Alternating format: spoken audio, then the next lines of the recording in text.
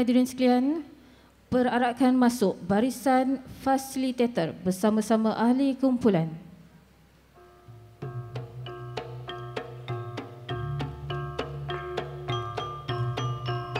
Kumpulan Teguh Tidi di bawah bimbingan Encik Hairul Anwar bin Simon dengan tajuk Semangat Cintakan Negara. Kumpulan ini membawakan slogan Pasti Berjaya.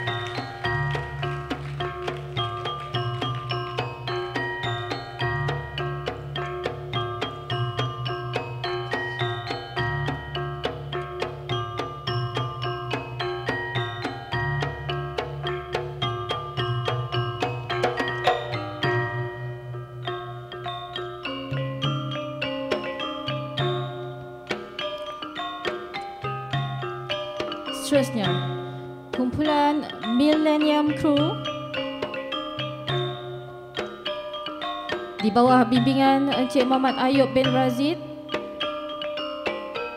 Kumpulan ini membawakan tajuk Jati Diri. Dengan slogan Berdiri teguh di belakang institusi, institusi raja.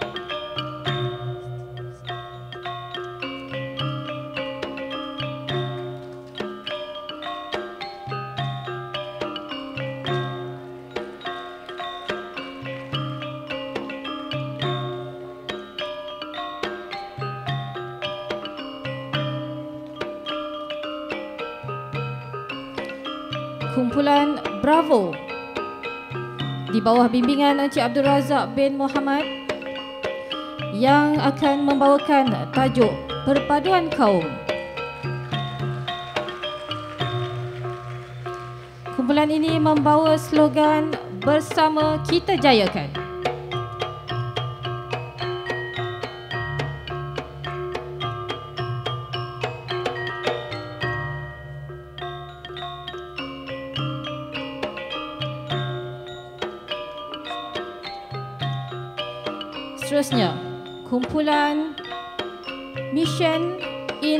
In Action MIA di bawah bimbingan Encik Muhammad Iqbal bin Ibrahim dengan tajuk Sumbangan Belia Mempertahankan Raja Berperlembagaan.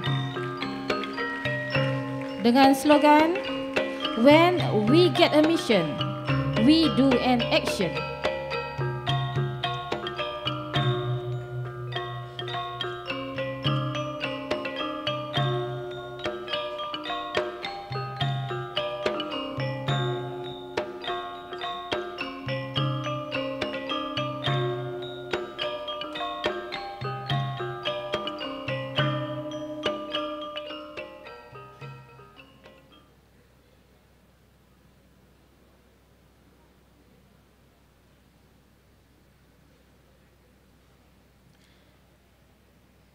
Hadirin sekalian, bagi menyemarakkan semangat cintakan negara, sama-sama kita berdiri bagi menyanyikan lagu bangsa Johor dan lagu negaraku.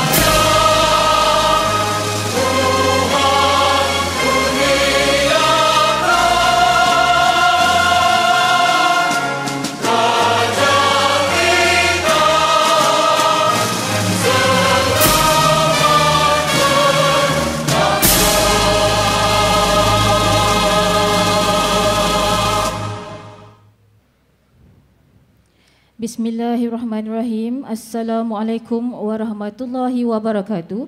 Salam sejahtera, salam muafakat Johor dan salam sehati sejiwa. Yang berbahagia Encik Muhammad Sukari bin Abdul Hamid, Timbalan Ketua Pengarah Strategik Jabatan Penerangan Malaysia selaku wakil rasmi yang berbahagia Ketua Pengarah Penerangan Malaysia. Yang dihormati Tuan Haji Abdul Hamid bin Kasiman, Pengarah Institut Kemahiran Belia Negara IKBN Pagoh. Yang berbahagia Encik Abdul Rahman bin Ismail, Wakil Rasmi Pegawai Daerah Muar. Yang berbahagia Tuan Haji Hashim bin Haji Badu, Pengarah Bahagian Gerak Saraf dan Pengurusan Isu, Jabatan Penerangan Malaysia. Yang berbahagia Encik Zainuddin bin Haji Ismail, Pengarah Jabatan Penerangan Negeri Johor. Tuan Moderator Pakar Rujuk Barisan Fasilitator dan Ahli Panel Forum Raja dan Rakyat berpisah tiada. Pengerusi-pengerusi KIM Daerah Muar, pengerusi serta ahli jawatan kuasa Persatuan Belia Daerah Muar, peserta-peserta forum, seterusnya tuan-tuan, puan-puan, hadirin yang dihormati sekalian. Alhamdulillah pada pagi yang berbahagia ini sama-sama kita merafak kesyukuran kehadrat ilahi kerana dengan limpah kurnia dan inayahnya dapat kita sama-sama berhimpun pada pagi ini bagi menjayakan program diskusi demokrasi berparlimen raja dan rakyat berpisah tiada. Program anjuran Jabatan Penerangan Malaysia menerusi bahagian gerak saraf dan pengurusan isu dengan kerjasama Institut Kemahiran Belia Negara IKBN Pago. Hadirin yang dirahmati Allah sekalian bagi memberkati perjalanan majlis. Majlis mempersilakan yang berusaha Encik Muhammad Amin bin Muhammad Kamis untuk memimpin bacaan doa. Dipersilakan. Bismillahirrahmanirrahim. Assalamualaikum warahmatullahi wabarakatuh dan salam sejahtera. إلى هرة النبي مصطفى رسول الله صلى الله عليه وسلم وعلى آله وأصحابه الكرام الفاتحة. بسم الله. الحمد لله رب العالمين. الرحمن الرحيم. مالك يوم الدين. إياك نعبد وإياك نستعين. اهدنا الصراط المستقيم. صراط الذين أنعمت عليهم غير المغلوب عليهم ولا الضالين. بسم الله الرحمن الرحيم الحمد لله رب العالمين والعاقبة المتقين والصلاة والسلام على سيدنا محمد وعلى آله وصحبه أجمعين Segala puji bagi Allah Tuhan sekalian alam Selawat dan salam ke atas Nabi junjungan Nabi Muhammad sallallahu alaihi wasallam para sahabat dan mereka yang mencontohi hingga ke hari kiamat Ya Allah, Ya Rahman, Ya Rahim, kami menadah tangan dan bersyukur kehadratmu di atas nikmat limpah kurniaanmu yang tidak terhingga ke atas kami sehingga kami dapat hidup dengan aman damai dan harmoni serta dapat melaksanakan tugas kami di muka bumi ini. Ya Allah, Ya Tuhan kami, Engkaulah yang maha pemurah lagi maha penyayang. Pada pagi yang berkat ini, kami berhimpun di Dewan yang indah bagi menyatakan kesyukuran kami kepadamu, Ya Allah. Kami mohon kepadamu juga, Ya Allah, limpahkanlah taufik dan hidayahmu, petunjuk dan inayahmu kepada kami. Mudah-mudahan majlis kami pada hari ini menjadi satu majlis yang engkau redai dan rahmati. Kurniakanlah kebaikan, keselamatan dan keberkatan di dalam majlis ini, Ya Allah. Ya Allah, Ya Rahman, Ya Waddu, kurniakanlah kami kejayaan, keamanan, kecemerlangan dan kesejahteraan di dalam kehidupan kami di dunia ataupun di akhirat. Jadikanlah kami orang-orang yang bertakwa, sentiasa mematuhi perintahmu juga dan menjauhi laranganmu, Ya Allah. Ampunilah dosa ketelanjuran kami dan jadikan kami orang-orang yang berada dalam keredaanmu juga, Ya Allah. Hayyum Ya Qayyum Ya Zal Jalali wal Ikram.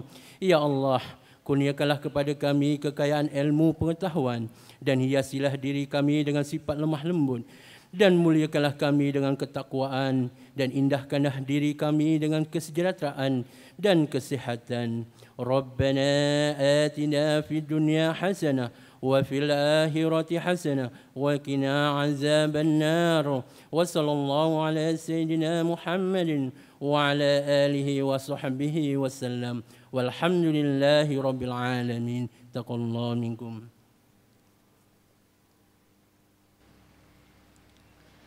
Majlis merakamkan ucapan terima kasih di atas bacaan doa sebentar tadi. Baiklah tuan-tuan dan puan-puan, untuk atur cara seterusnya, iaitu program diskusi demokrasi berparlimen Raja dan Rakyat berpisah tiada. Majlis mempersilakan yang berbahagia Encik Sakimin bin Ahmad selaku moderator dan yang berbahagia Tuan Haji Nur Khalid bin Salikin selaku pakar rujuk naik ke pentas untuk mengetuai forum. Dipersilakan.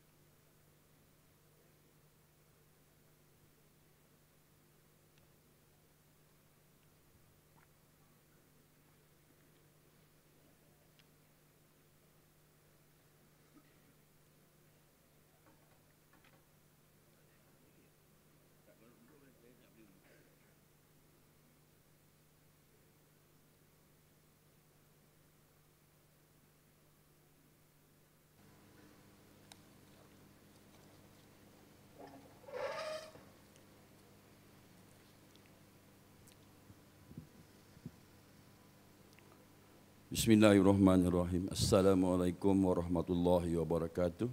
Terima kasih kepada saudara saudari pengacara majlis. Alhamdulillah, bersyukur kita kepada Allah Subhanahu Wa Taala dengan limpah dan izinnya dapat kita bersama-sama dalam majlis diskusi ya. Majlis diskusi demokrasi berparlimen raja dan rakyat berpisah tiada. Tuan-tuan dan puan-puan hadirin sekalian.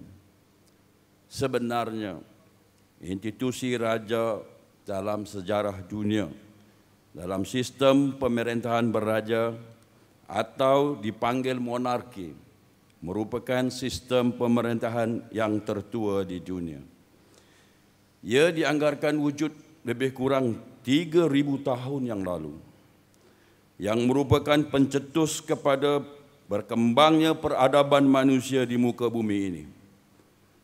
Di Malaysia, Sistem beraja ini telah mencecah lebih 700 tahun bermula daripada tahun 1400 dari kerajaan Melaka. Pada awal kurun ke-19 terdapat lebih kurang 900 buah tahta kerajaan di dunia ini.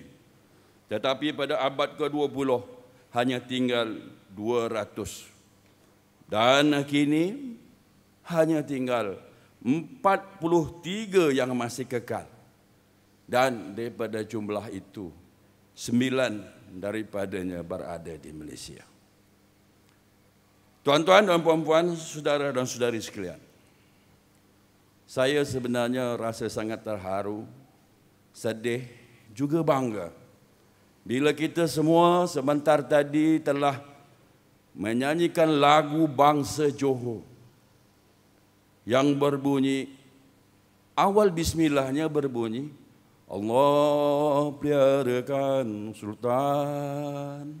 Kita sudah mengiktiraf dan bermohon kepada Allah Subhanahu taala supaya dipelihara sultan dan raja-raja kita. Anda tuan-tuan tuan dan saya juga terus menyanyi anugerahkan dia segala kehormatan sehat dan dia kekal dan makmur. Kita, tuan-tuan dan puan-puan, berasa syukur. Pemerintahannya kekal negara kita makmur. Apa lagi yang kita minta? Kepada daripada Allah Subhanahu Wa Taala. Kita minta luaskan kuasa, naungkan kami, rakyat dipimpini berzaman lagi dengan merdeka bersatu hati. Allah berkati. Allah selamatkan Sultan. Meremang buru rumah saya tuan-tuan. Tetapi tuan-tuan, saya berasa sangat sedih. Saya tak sempat menghabiskan lagu negaraku. Bila mana perkataan yang berbunyi, Raja kita selamat bertahta. Betul ke tuan-tuan? Raja kita selamat bertahta. Semenjak pilihan raya yang ke-12 tuan-tuan dan puan-puan. Negara kita telah pun dicetuskan dengan ombak tsunami. Bermulalah di situ titik-titik perpecahan, jatuh menjatuhkan sehingga kan semangat perkauman yang masing-masing dengan dirinya sendiri. Tuan-tuan dan puan-puan, Malaysia wujud dengan tiga kaum yang besar. Melayu, Cina dan India. Kalau tidak ada perpaduan sesama kaum di bumi, bumi ini, yakin dan percayalah. Tuan-tuan, perpatah hang tuah tidak hilang Melayu di dunia akan jadi apa kata? Satu kenyataan yang bertentangan. Apa artinya Melayu? Kalau Melayu macam di Sri Lanka. Apa artinya Melayu? Kalau Melayu macam di Myanmar. Apa artinya Melayu? Kalau Melayu berada di Madagaskar. Tidak punya kuasa. Tidak punya maruah diri. Tidak punya punya identiti negara. Menumpang dan merempat di bumi sendiri. Jangan jadi tuan-tuan. Kerana marahkan sesuatu. Kita korbankan yang lebih utama. Pada hari ini tuan-tuan dan puan-puan, dirinya saya di hadapan tuan-tuan pada pagi ini ingin saya sampaikan, sepatutnya saya boleh duduk, tapi saya rasa kurang hormat bila saya duduk. Sebab saya pada pagi ini ingin menyampaikan wasiat raja-raja Melayu kepada kita semua. Pada 5 Ogos 1957, Ketika raja-raja Melayu menurunkan tanda tangan persetujuan pembentukan Perlembagaan Persekutuan Tanah Melayu, tujuh wasiat daripada raja-raja Melayu kepada kita semua. Satu, ini raja-raja yang bertitah, bukan saya. Kami namakan dan kami panggil dia. Bumi yang kamu pijak dan langit yang kamu junjung persekutuan tanah Melayu. Sekarang ini dikenali sebagai nama Malaysia. Yang kedua, kami istiharkan dan kami simpan untuk kamu dan kami benarkan kamu istihar dan simpan untuk cucu anak cucu kamu selain gunung ganang, tasik dan hutan simpan tanah simpan Melayu sehingga nisbah 50% selebihnya kamu rebutlah bersama kaum-kaum yang lain. Wasiat ketiga. Bagi menjaga kamu dan bagi melindungi anak cucu kamu serta hak milik kamu, kami tubuhkan Regimen Askar Melayu selain untuk membenteras kekacauan dalam negara dan ancaman dari luar negara. Yang keempat, Raja-Raja Melayu bertitah, kami kekalkan dan kami jamin kerajaan dan kedaulatan Raja-Raja Melayu memerintah negara ini. Yang kelima, kami istiharkan Islam adalah agama persekutuan. Yang ketujuh, kami tetapkan bahasa kebangsaan bahasa Melayu. Dan yang ketujuh, kami amanahkan dan kami pertanggungjawabkan kepada raja-raja Melayu untuk melindungi kedudukan istimewa orang Melayu dan kepentingan sah kaum-kaum lain. Kemudiannya ditambah dengan kedudukan anak negeri Sabah dan Sarawak. Begitulah tadi tuan-tuan wasiat daripada sembilan raja Melayu yang terdiri daripada empat negeri Melayu bersekutu dan lima negeri Melayu tidak bersekutu disampaikan sebelum merdeka kepada rakyat Melayu yang merupakan rakyat asal dan subjek raja-raja Melayu. Tuan-tuan dan puan-puan, saya dah sampaikan dua perkara penting. Yang pertama sekali, lagu bangsa Johor, lagu negaraku dan wasiat raja-raja. Jadi untuk mengupas, kenapa dikatakan raja dan rakyat berpisah tiada untuk mendapatkan penjelasan lebih lanjut. Saya dengan ini menjemput panel utama kita Tuan Haji Nur Khalid bin Saligin daripada pejabat pendidikan daerah Muar untuk mengupas apa yang dimasukkan demokrasi berparlimen, raja berperlembagaan. Silakan tuan.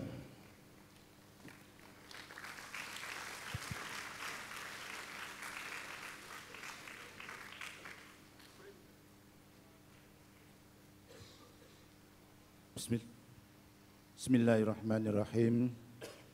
Assalamualaikum warahmatullahi wabarakatuh. Salam sejahtera, salam satu Malaysia, salam muafakat Johor, salam sehati sejiwa. Terlebih dahulu marilah kita panjatkan rasa kesyukuran kehadirat Allah Subhanahu wa taala kerana telah memberikan ruang dan waktu kepada kita semua untuk bersama-sama berada dalam majlis diskusi pada pagi ini.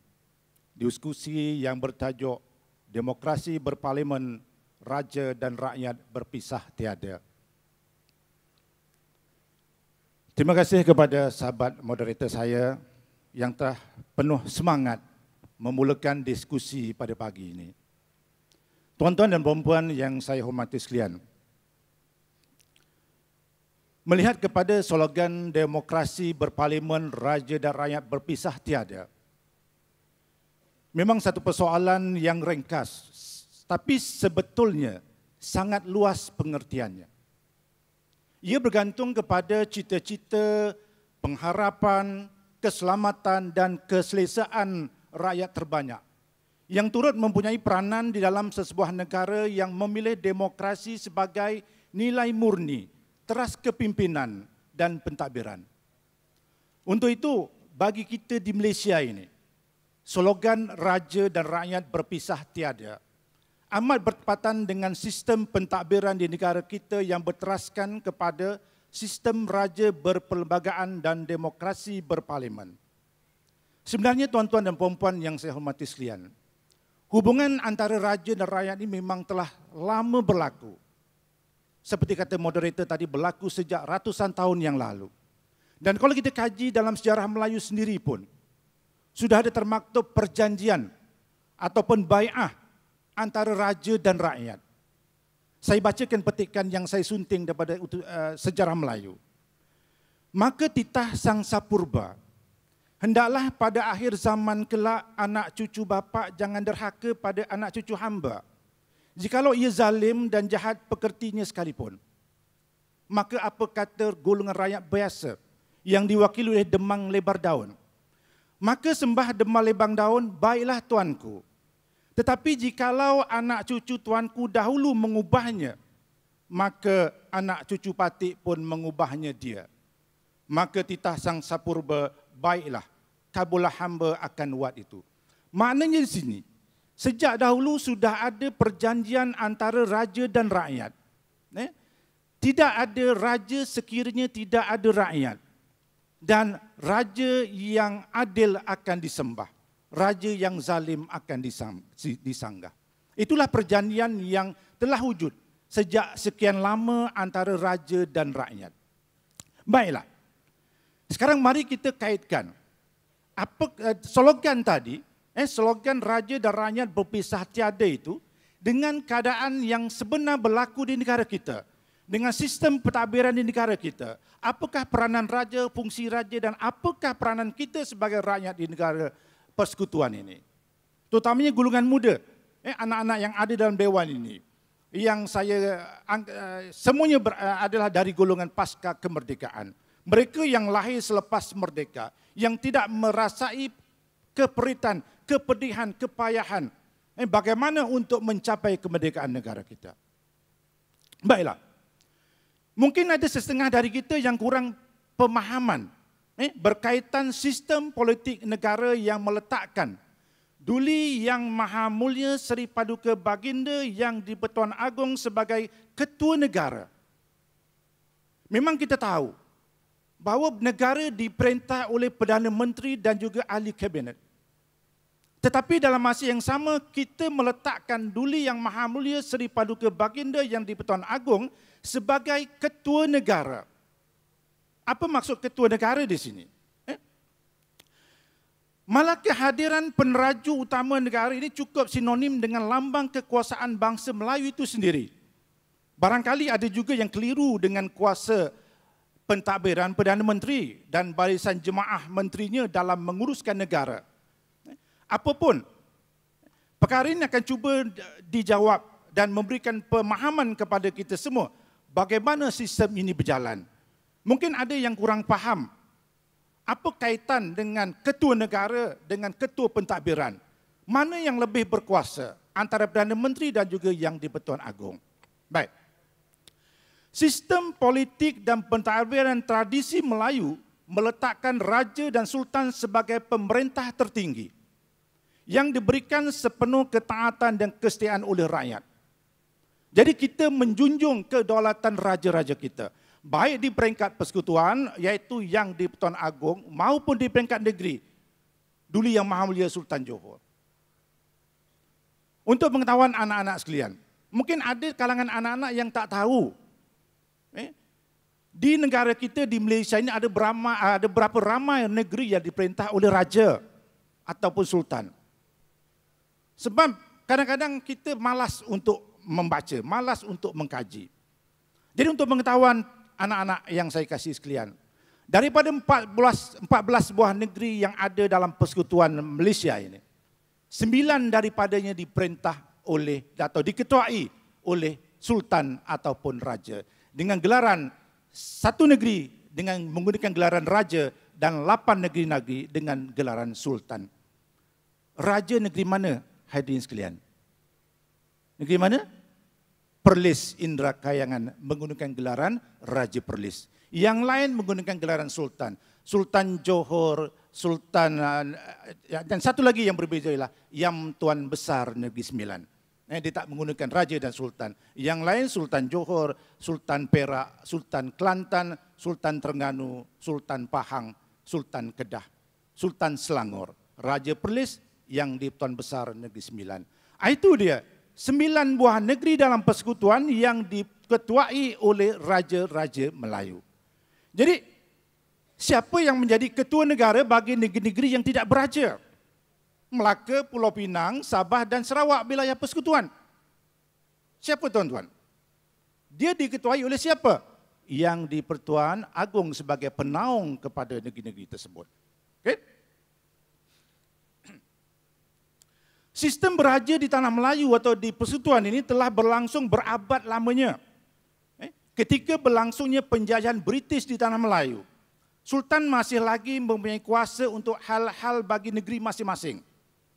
Kedudukan mereka masih dianggap berdaulat ketika itu.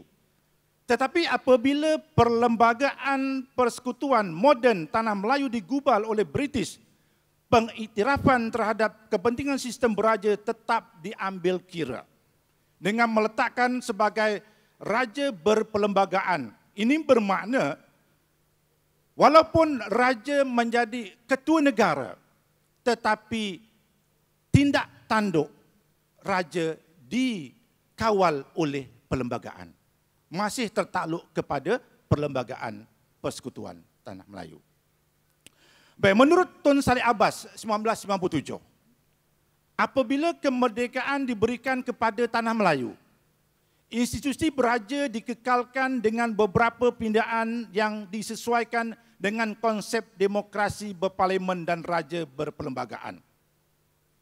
Ini melambangkan Raja Melayu adalah kesinambungan sejarah dan warisan negara. Kewujudan institusi raja di persekutuan ini menjadi sebahagian daripada identiti negara dan ia dilindungi oleh perlembagaan. Dan kalau kita rujuk dalam perlembagaan, ia terkandung dalam perkara 159 pasal 5 yang menjelaskan bahawa tiada pindaan boleh dibuat terhadap peruntukan berhubung dengan majlis raja-raja, susunan keutamaan dan hak-hak mereka untuk warisan sebagai raja negeri masing-masing tanpa persetujuan majlis raja-raja. Tuan-tuan dan puan-puan yang saya hormati sekalian. Jawatan yang di Pertuan Agong wujud selepas negara mencapai kemerdekaan yang layak menjawat yang di Pertuan Agong ialah dari kalangan sembilan orang raja-raja Melayu. Dan Agong pertama Persekutuan Tanah Melayu ialah dari negeri sembilan. Dan telah dipersetujui, giliran Agong ini telah pun dipersetujui antara sembilan buah negeri ini akan mengikut giliran masing-masing. Dan setiap satu penggal Agong akan menjawat jawatan selama lima tahun. Dan sekarang ini kita faham agung kita daripada negeri mana? Negeri Kedah Darul Aman. Dan tuan-tuan juga tahu bahawa agung kita yang ada sekarang ini sudah menjawat jawatan agung untuk kali yang kedua. Alhamdulillah, panjang umur Seri Paduka Baginda yang bertuan agung. Selepas ini, selepas agung ini tamat perkhidmatannya, maka kalau mengikut giliran, akan naik pula Sultan Kelantan sebagai yang di Peton Agung. Tetapi mengikut perundangan, setiap agung akan ditemani oleh Raja Permaisuri Agung. Eh? Ah, tapi kalau mengikut hingga ke hari ini, eh, kita tahu bahawa Sultan Kelantan masih lagi belum. Apa tuan-tuan? uh, belum beristri. Jadi kita tak tahulah eh, itu perbincangan antara majlis raja-raja. Siapa yang akan bakal menggantikan yang bertanggung yang sedia ada hari ini. Baik. Tuan-tuan dan puan yang saya hormati sekalian. Kita melihat pula eh, dalam perlembagaan perkara ke-71 menjamin hak seseorang raja dalam negeri baginda untuk mewarisi, memegang, menikmati dan menjalankan hak-hak keistimewaan ke atas perlembagaan. Perlembagaan eh, apa ni uh, perlembagaan persekutuan bukan hanya menggariskan panduan ataupun perkara-perkara yang berkaitan dengan yang di Pertuan Agong malah dalam masa yang sama juga eh, menggariskan perkara-perkara uh, kepada raja-raja setiap negeri. Institusi raja dianggap penting dalam menjamin kestabilan negara kerana ia menjadi payung negara. Eh, payung, fungsi payung itu. Eh, sebagai pelindung kepada orang-orang yang berlindung di bawahnya. Jadi raja berfungsi sebagai payung negara. Menaungi seluruh rakyat yang terdiri daripada pelbagai kaum. Bukan untuk orang Melayu sahaja. Mungkin ada yang salah anggap Raja Melayu melindungi orang-orang Melayu, menjaga kepentingan orang Melayu. Tidak. Raja Agong dan Sultan melindungi semua rakyat yang ada di tanah Melayu atau persekutuan dan juga di negeri-negeri.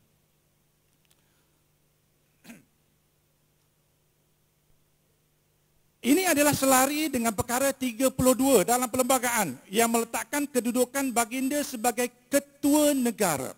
Ah, ini dia katakan ketua negara. Eh, bukan kepimpin, bukan ketua pentadbiran.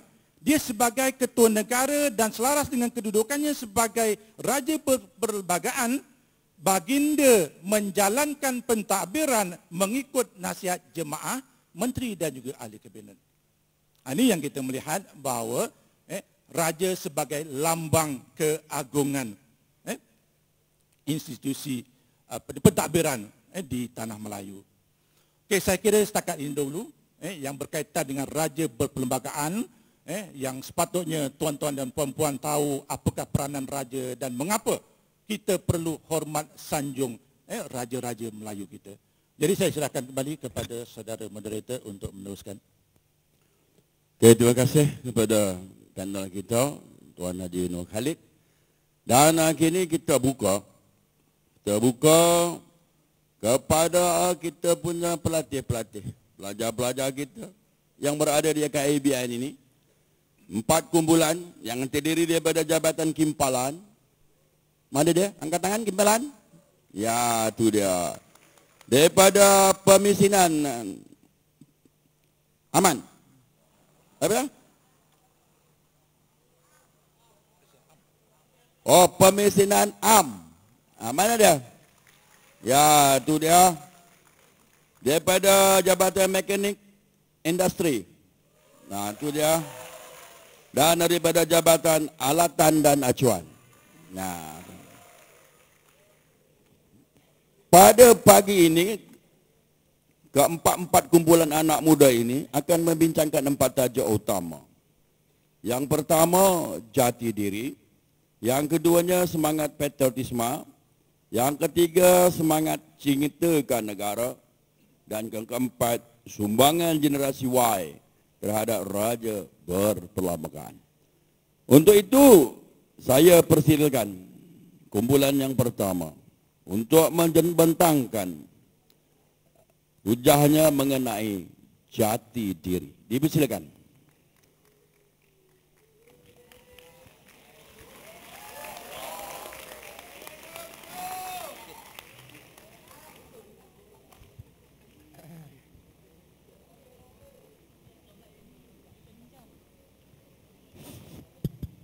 Okay, Assalamualaikum dan salam sejahtera yang berusaha, Tuan Moderator dan yang dihormati hadirin-hadirin sekalian. Okey. Dirinya saya di sini sebenarnya ada tugas. Ada tugas yang perlu saya sampaikan bukannya untuk menyanyi ataupun tapi dirinya saya di sini mewakili kumpulan saya mekanik industri untuk menyampaikan satu tajuk yang sebenarnya benda ni dah lama. Dalam dalam dunia, dalam Malaysia ni benda ni dah patut dah lama kita tahu semua benda macam ni. Itu tajuk jati diri. Okey, di sini nak tanya pada tuan-tuan dan puan sekalian, apa itu jati diri? tak apalah, biar saya yang jawabkan. Okey, di sini dari istilah ataupun dari segi bahasa, jati diri itu bermaksud keteguhan kepribadian, jati keteguhan diri kepribadian kita. Ha, So selain termasuk-masuk lain Identiti yang teguh. Ha, Selain itu Kita tengok ah Keteguhan. Apa mindset kita? Dah tentu lah Teguh tu positif Betul tak? Ha, So Jati diri ni satu benda yang positif lah Kita fikir positif. So Dah tentulah positif benda baik. Ha, So Dengan sini Jati diri ni adalah satu benda yang tak lari daripada kehidupan manusia.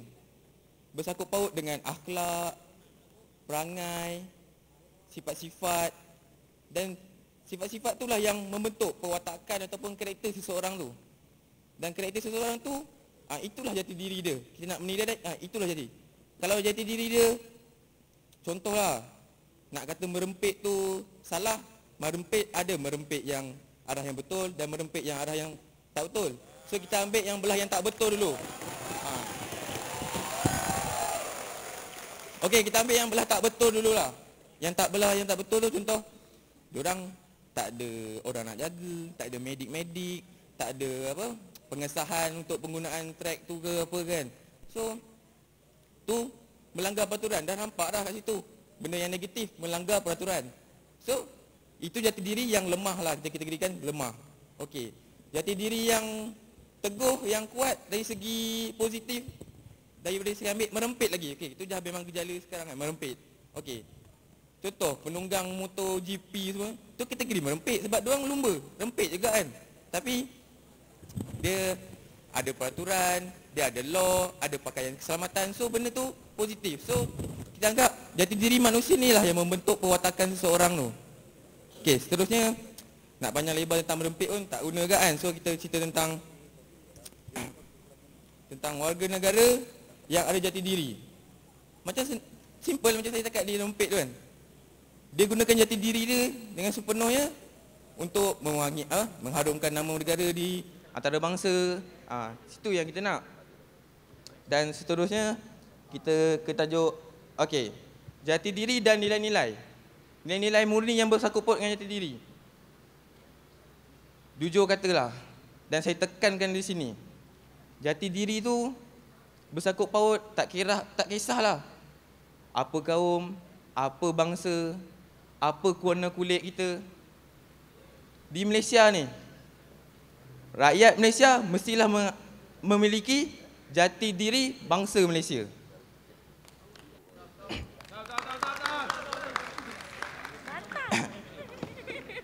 Okey, jati diri bangsa Malaysia. Jati diri bangsa Malaysia. Apa yang ada pada jati diri bangsa Malaysia ni memang harus ada dalam setiap jiwa rakyat-rakyat Malaysia ni. Simple je. Semua boleh amalkan. Ya, Izin laluan yang berhormat. Ya, saya. Yang berhormat saja menerangkan dari segi bahasa. Saya nak tahu istilah daripada Kamus Dewan edisi keempat terbitan Dewan Bahasa dan Pustaka yang bermaksud apa dan istilah yang telah ditunjukkan. Terangkan secara terperinci dan apa yang ingin menyampaikan secara mendalamnya. Silakan yang berhormat. Okey ya. Istilah bahasa. Okey, Kamus Dewan siapa yang cipta? Cipta sikit bro.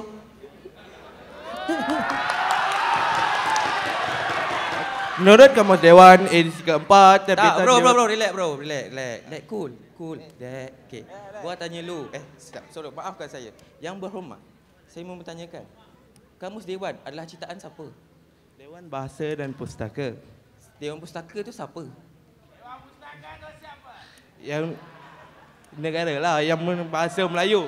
Boleh saya terangkan? Itu adalah manusia punya ciptaan Okay. Tapi saya tidak tahu apa oh, yeah, saya tahu. Terangkan. Saya faham okay. maksud tuan yang berhormat. Saya faham. Relax, cool, down, down.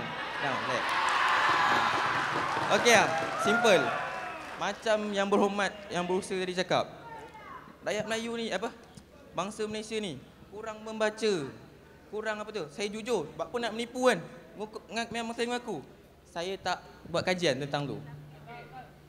Minta maaf eh, saya rasa beri peluang kepada dia dan yang lain patut pada soal dan jawab. Bagi dia habiskan dulu.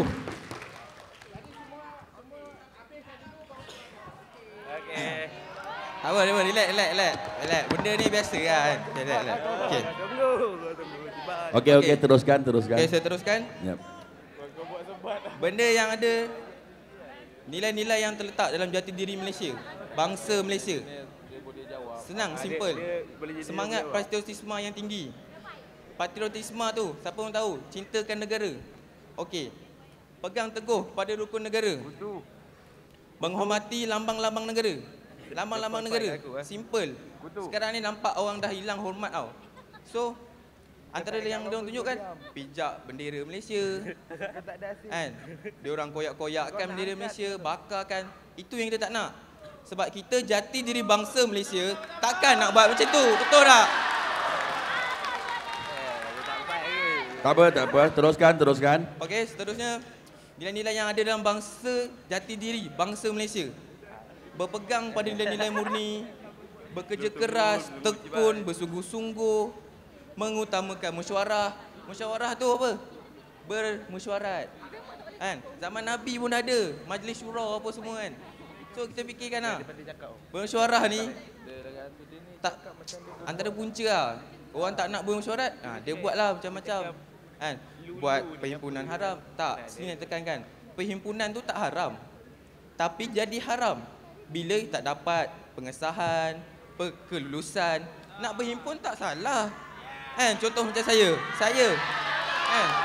Macam saya berhimpun kat sini. Luangkan pendapat. Bagi apa yang salah. Soal jawab dengan yang berhormat di sana. Kan? So tak salah. kita nama pun bincang bincang bro kan okey okey macam contoh ah perhimpunan yang saya suka lah. Sebab saya peminat old school kan. Saya kereta-kereta lama saya minat. Kan kalau macam OMG yang bakal wujud uh, ada kan 12 12 hari bulan 9 ni. Tu perhimpunan yang disahkan. Okey. Yang disahkan. So perhimpunan tak salah. Saya tekankan kat situ. Itu mesyuarat tu pent- penting. Kita kena ada bincang-bincang. Ha, itu isi saya. Yang perlu ada dalam jati diri Malaysia iaitu macam saya, saya ulangkan tadi semangat patriotisme tinggi, pegang teguh pada rukun negara dan seterusnya. Okey. Okey, ada lagi? Kan? Dah. Alam kalah lagi. Okey, seterusnya. Kita manusia wujudnya memang dari kecil dilahirkan oleh ibu bapa kita. Dijaga, dibelai sampai besar besar besar besar macam sekarang ni. Alhamdulillah sihat walafiat dan sempurna kan. So alhamdulillah kan. So sama juga perangai kita sekarang ni dididik oleh ibu bapa kita. Dididik oleh ibu bapa kita jadi macam mana kita sekarang ni? Baik ke jahat ke semua tu bergantung pada ni. Dan jati diri kita melambangkan keluarga kita, melambangkan ibu bapa kita. So sama juga dengan pihak kerajaan. Kan? Kerajaan itu usaha yang dia orang lakukan untuk memupuk jati diri bangsa Malaysia ni dah macam cara dia orang cuba dan try untuk jadikan jati diri bangsa Malaysia jadi macam sekarang ni. Alhamdulillah masih lagi dalam keadaan aman, makmur. Dia melalui dengan melalui pendidikan, rukun negara, dasar bahasa dan kebudayaan, melalui program PLKN dan yang lain-lain. Dan selain itu simple je. Rumusannya. Kita ambil ah yang simple je. Rukun negara. Rukun negara tu dari kecil sekolah kita ada dah tengok ah. Belakang buku latihan kecil tu dah ada tulis rukun negara nak suruh kita hafal. Sebenarnya bukan sekadar hafal. Kita kena faham. Okey. Kenapa jati diri tu ada pada rukun negara? Okey, macam ni. Kesetiaan eh kas. Maafkan saya. Maafkan saya. Maaf saya. Kepercayaan kepada Tuhan dan kepercayaan kepada Tuhan. Di situ dah nampak jati diri yang dipupuk oleh bangsa Malaysia melalui dukun negara adalah nak kita ni jadi seorang yang berpahaman percaya kepada Tuhan. Kita menolak anasir-anasir yang me, yang tidak mempercayai kewujudannya Tuhan. Kerana dengan melalui agama kita akan rasa terikat, kita akan ikut peraturan. Kalau kita rasa bebas, terlalu bebas, macam-macam jadi kan. Ha, so, yang kedua, ha, ni yang memang sangkut paut dengan kita punya tajuk hari ni, demokrasi berparlimen, raja dan rakyat berpisah. Tiada. Okey. Kesetiaan kepada raja dan negara. Raja. Okey. Kerajaan. Sesuatu kerajaan tu melalui perkataan. Rasa-rasa perkataan ra- kerajaan tu wujud dengan perkataan apa? Kera ke? Raja ke? Jaan ke? Mana? Raja. Dah nampak dekat perkataan tu dah nampak. Raja itu penting. Betul tak betul? Betul tak yang berhormat yang pakai kacamata? Yes, betul kan? Ah okey. So Okey, dekat situ dah nampak. Kenapa berpisahnya tiada tu? Kerana berpisah tu tiada. Okey, saya ungkapkan. Berpisah tu kita berpisah. Tiada tu kita anggapkan macam mati ke apa kan. So, takkan nak mati yang kerajaan, satu kerajaan tu kan. Ha, okey, kita fikirkan saya tekan kat sini lebih sebab sini takut paut dengan tajuk kat sini lah. Kan? So, bayangkan pada sepohon kayu kan, sayur pokok kan, ada akar dia. Okey. Saya pernah baca ni dalam buku sejarah tingkatan berapa lah. Rakyat umpama akar. Raja umpama pohon tu. Bayangkan kalau pokok tak ada akar.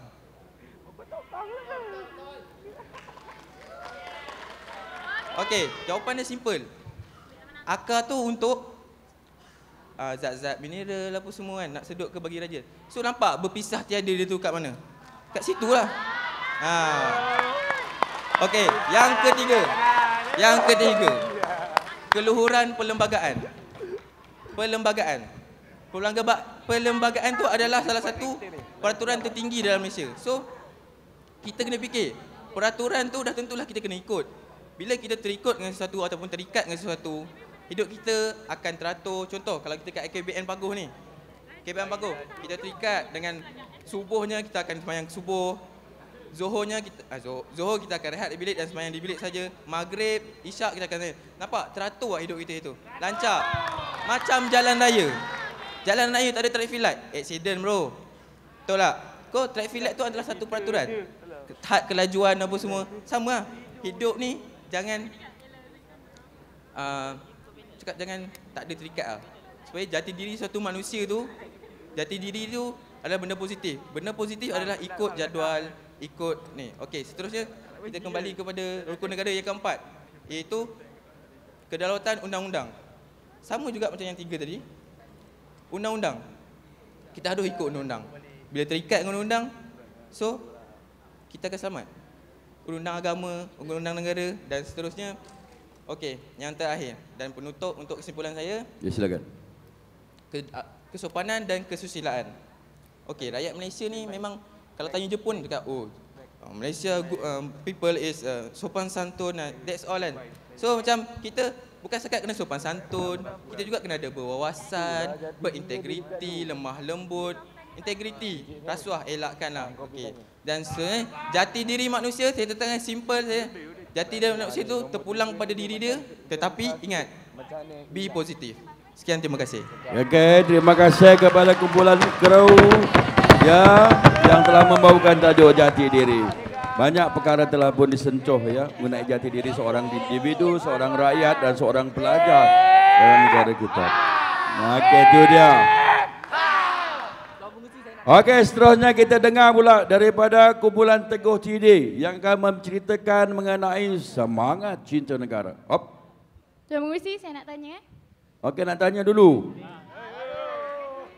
Nanti nanti kita akan ada dalam sesi Ah, soal jawab suruh nanti dulu, ya. eh. Kita ada satu Kita bentang tanya. dulu semua. Ah, okay, okay. Okey, ikut ikut atur cara kita, ikut atur cara, itu atur cara kita. Okey. Silakan, semangat. Sabar, Kak, sabar. Semangat cinta negara.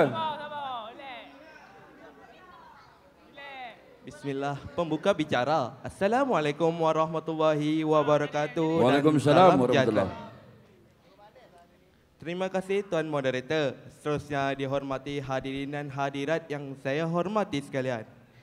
Saya daripada Kumpulan Teguh membentangkan tajuk pada hari ini iaitu Semangat Cintakan Negara.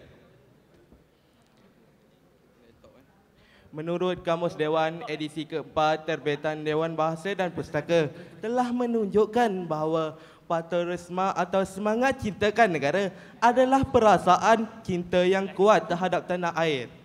Pasal cerita yang kuat terhadap tanah air. Next.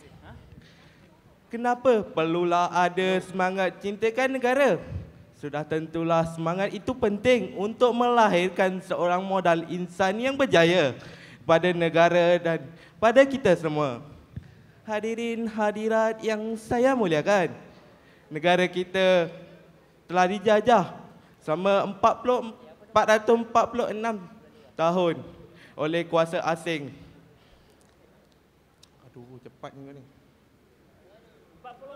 Perjuangan kita bangsa yang tokoh-tokoh kita iaitu Mat Kilau dan lain-lain telah memperjuangkan kita untuk kemerdekaan negara. Perjuangan bangsa telah menunjukkan negara kita ini siapa? Negara kita ini siapa? Telah hingga sekarang hingga 58 tahun. Kemerdekaan kita pada hari ini. Ya tuan-tuan yang saya hormati sekalian.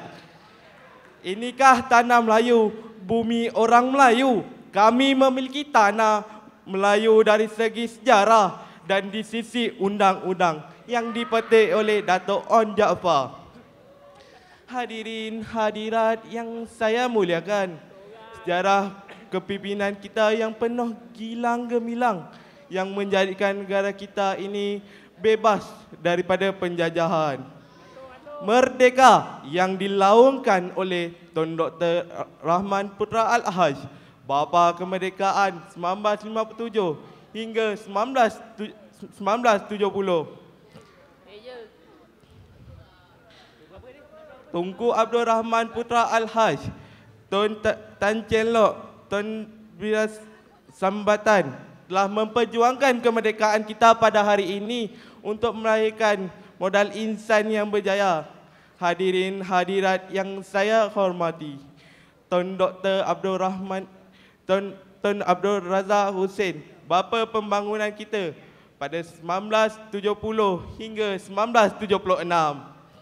Dan seterusnya, Tun Dr. Hussein On, bapa perpaduan dari tahun 1976 hingga 1981. Hadirin hadirat yang sekalian, Tun Dr. Mahathir Muhammad, bapa kemodenan kita pada tahun 1981 hingga 19 hingga 2003. Bahasa Melayu pada tahun pada tahun 2020 akan mempunyai identiti tersendiri, tidak bercorakkan negara asal mana-mana kaum. Kita akan mempunyai budaya dan seni yang khususnya membentuk bentuk Malaysia.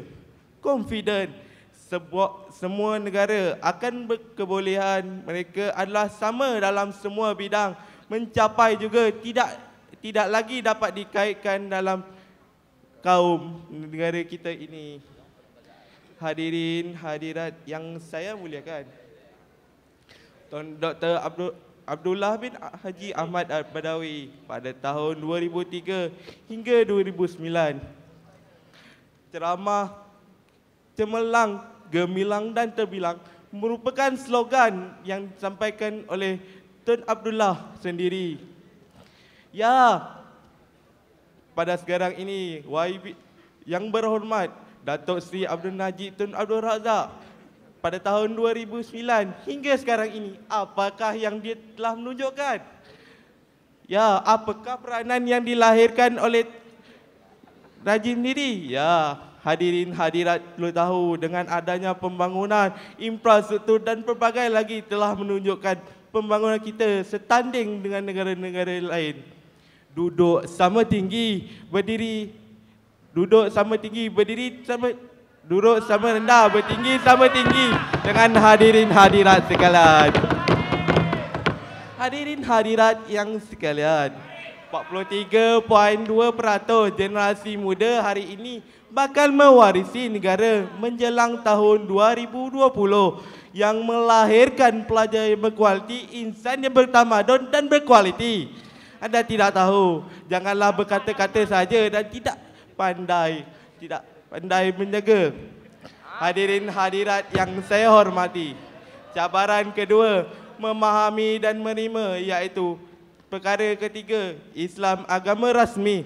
Perkara 125, kedudukan bahasa Melayu sebagai bahasa rasmi.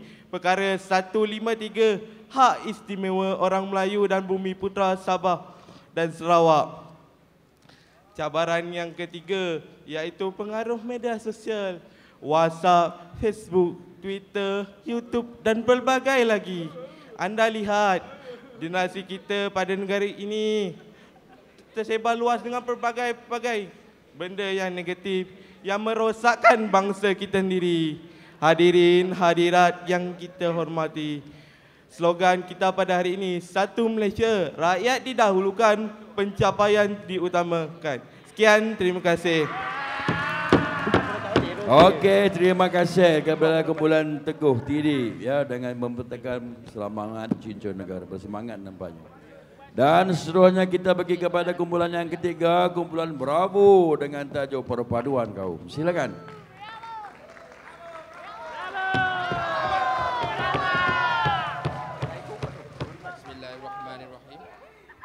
Assalamualaikum warahmatullahi taala wabarakatuh. Yang yang dihormati tuan moderator dan hadirin tuan puan tuan puan sekalian.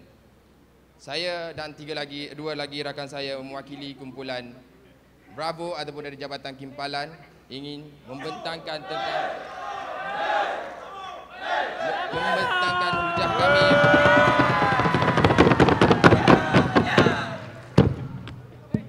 membacakan hujah kami uh, yang bertajuk perpaduan kaum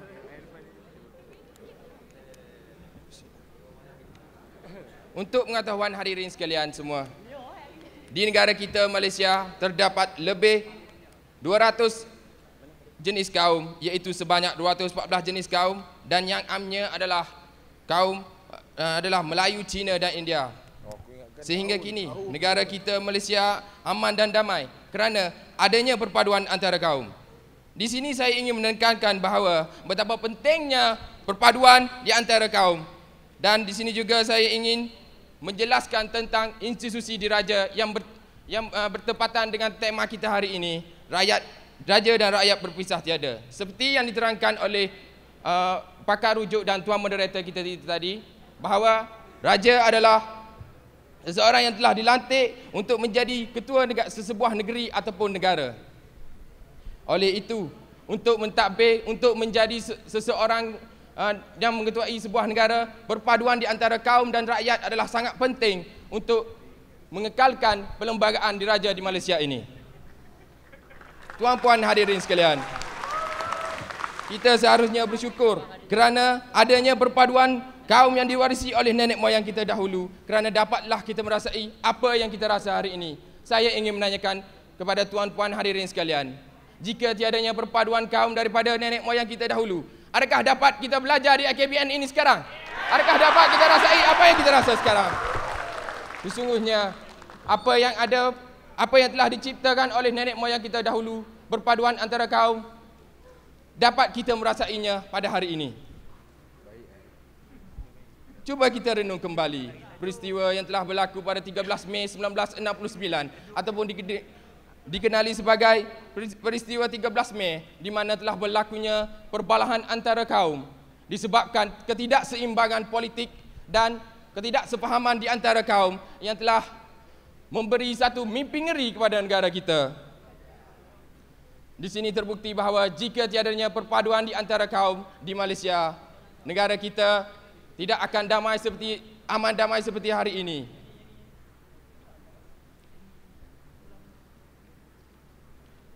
Perpaduan antara kaum juga dapat menaikkan imej negara ke, kepada uh, ke, menap, dapat menaikkan imej negara di mata dunia di mana ramai pelancong-pelancong asing yang datang kepada negara kita dan merasai perpaduan di antara kaum kita yang harmoni dan majmuk.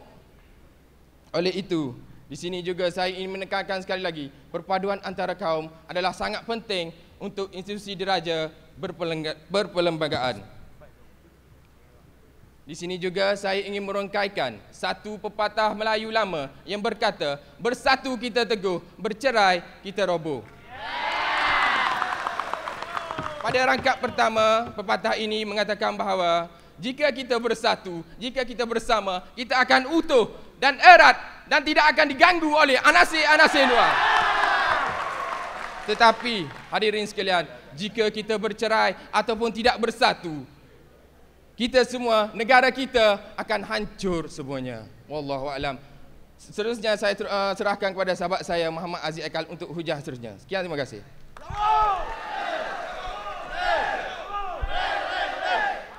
Assalamualaikum warahmatullahi wabarakatuh. Terima kasih pada sahabat saya iaitu saudara Muhammad Badawi kerana memberi sedikit ruang kepada saya untuk meneruskan hujah yang seterusnya. Hujah saya yang seterusnya adalah berkaitan pengaruh laman sosial dan penghinaan institusi raja. Baru-baru ini telah berlaku di mana ada sesetengah pihak telah menghina institusi raja melalui laman sosial seperti WhatsApp, Facebook, WeChat dan Twitter. Ini merupakan satu tindakan yang tidak elok kepada masyarakat. Khususnya pada beliau yang belia yang sememangnya menggunakan teknologi yang terkini oleh itu, semua pihak seharusnya menghormati institusi raja berperlembagaan bagi menjaga kesejahteraan dan kehormatan negara.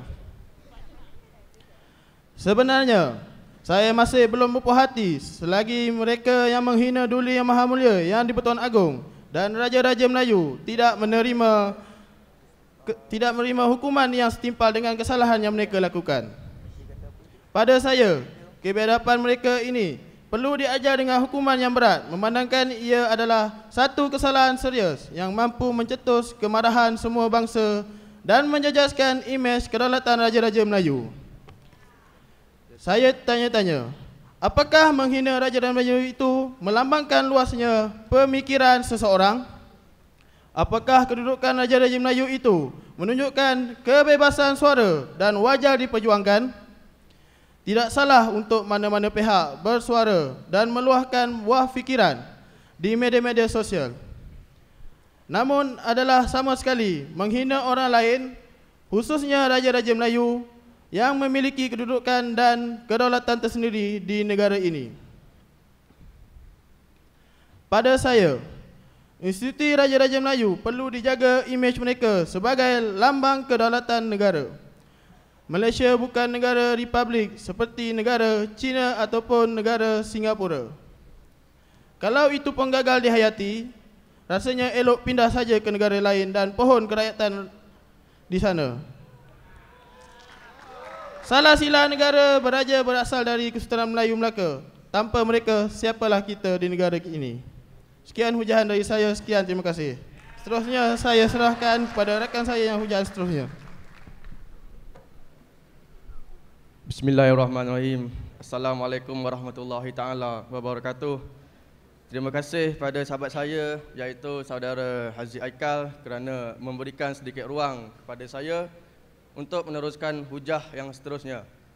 Hujah saya yang seterusnya adalah berkaitan peranan individu dan masyarakat mengenai perpaduan di negara ini dengan mengikut sistem raja berperlembagaan. Perpaduan merupakan perkara yang amat penting dan mustahak untuk mengekalkan keharmonian dan kedamaian di sesebuah negara. Negara yang aman dan damai dapat menjamin kebahagiaan dan keselamatan rakyatnya. Negara yang mengamalkan perpaduan dapat mencapai kemajuan dengan mudah serta tidak mudah ditakluki oleh kuasa asing. Antara cara mengekalkan perpaduan dalam sesebuah negara ialah dengan memupuk semangat patriotisme di kalangan rakyatnya. Kita haruslah berbangga menjadi seorang rakyat Malaysia dan menyayangi negara kita. Kita perlu mengenali serta menghormati raja dan pemimpin negara kita kerana mereka yang berusaha mengekalkan keamanan dan kesejahteraan negara. Usaha-usaha mereka untuk memajukan negara haruslah sentiasa disokong, bukannya dikritik.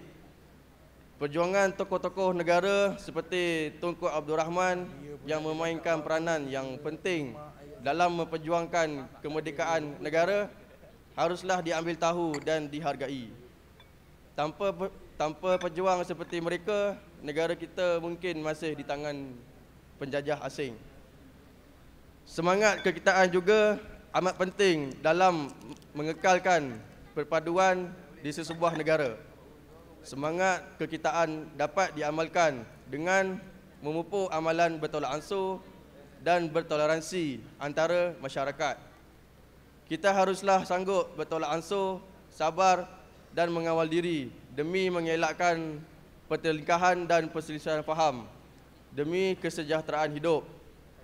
Sifat bersatu padu antara masyarakat yang berbilang kaum amat penting untuk mewujudkan keharmonian dan semangat berjuang untuk negara bukannya untuk bangsa atau kaum sendiri. Kita harus sentiasa hormat menghormati antara satu sama lain tanpa mengira kedudukan bangsa atau agama. Kita tidak berhak mengkritik atau mengutuk adat resam dan kepercayaan kaum lain. Aktiviti yang melibatkan penglibatan pelbagai kaum seperti gotong royong dapat memupuk semangat bermasyarakat antara kaum. Sifat disiplin dalam diri juga amat penting dalam memupuk perpaduan. Peraturan dan undang-undang yang ditetapkan oleh kerajaan haruslah dipatuhi untuk kesenangan semua pihak. Akhir kata dari saya, terimalah serangkap pantun yang berbunyi. Lahuma membawa tajak berjalan ke hujung tanjung. Di mana bumi dipijak, di situ langit dirujung. Sekian, terima kasih. Assalamualaikum warahmatullahi wabarakatuh. Waalaikumsalam warahmatullahi wabarakatuh. Terima kasih kumpulan Bravo. Bravo betul lapannya. Dan seterusnya kita persilakan kumpulan MIA yang akan membawa tajuk sumbangan generasi Y terhadap Raja Berperlembagaan. Bila silakan.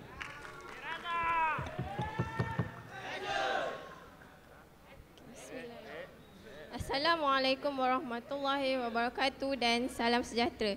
Terima kasih kepada tuan moderator dan tuan-tuan dan puan-puan sekalian. Saya serta dua orang lagi kawan saya sebagai wakil kumpulan MIA akan mengupas satu topik yang agak menarik pada masa kini iaitu sumbangan belia mempertahankan raja ber ber berperlembagaan. Dengan itu, izinkan saya meminjam sedikit masa untuk menerangkan apakah itu belia. Dalam draft kajian semula dasar belia negara, Kementerian Belia Negara dan Kementerian Belia dan Sukan mentakrifkan belia sebagai mereka yang berumur 18 hingga 35 tahun. Alasannya ia selaras dengan takrif yang diberikan oleh Pertubuhan Bangsa-Bangsa Bersatu yang diguna pakai oleh negara lain. Untuk pengetahuan tuan-tuan dan puan-puan, 38% daripada populasi penduduk rakyat Malaysia yang dianggarkan sebanyak 26 juta adalah mereka yang terdiri daripada belia. Beli, belia merupakan salah satu aset yang paling penting untuk mempertahankan raja berperlembagaan kerana mereka bertanggungjawab untuk meneruskan semua legasi diraja. Hal ini sekaligus dapat memastikan negara bergerak maju dan menjadikan Malaysia sebuah negara yang mempunyai daya saing yang tinggi. Mereka merupakan sumber terbesar dalam negara serta berpotensi untuk menyumbang kepada pembangunan negara. Seperti mana yang kita tahu, belia masa kini ataupun belia yang lahir pada tahun 80 ke atas adalah tergolong dalam generasi Y secara amnya mereka akan mempunyai daya kreativiti yang tinggi untuk meneruskan untuk mempertahankan sistem raja berperlembagaan. Ah, sekian daripada saya dan saya akan serahkan kepada kawan saya. Okey. Assalamualaikum warahmatullahi wabarakatuh. Saya menyambung daripada Bayanan Belia. Dengan uh, dengan 38% golongan belia di Malaysia ini telah menjadikan golongan belia ini mendukung kepada sistem perlembagaan diraja kerana golongan ini sebagai satu golongan yang mempertahankan kedaulatan negara. Telah menjadi satu tanggungjawab kepada belia untuk mengekalkan rasa pertahanan mempertahankan kelembagaan dalam diri ini daripada serangan luar seperti psikologi dan sebagainya. Meyakinkan bahawa Raja Perlembagaan ini adalah satu adalah sebagai kuasa pemerintah yang mutlak dan satu lambang perpaduan kepada negara kita yang mempunyai pelbagai kaum. Setiap keputusan yang dibuat haruslah diputuskan dengan suara majoriti rakyat demi menjaga perpaduan dalam negara supaya tidak menyinggung kepada bangsa lain seperti China, India dan sebagainya. Beliau haruslah menjadi contoh seperti taat setia kepada raja dan negara. Lain itu, beliau juga berfungsi mengekalkan hak orang Melayu dan bertimbang rasa kepada kaum yang lain. Amalan kepercayaan yang berbentuk ibadat haruslah diterapkan ke dalam jiwa beliau untuk menjadikan untuk menjadikan negara ini kekal dengan sopan satu dan berbudi bahasa. Okey, saya serahkan kepada sahabat saya untuk meneruskan perbincangan ini.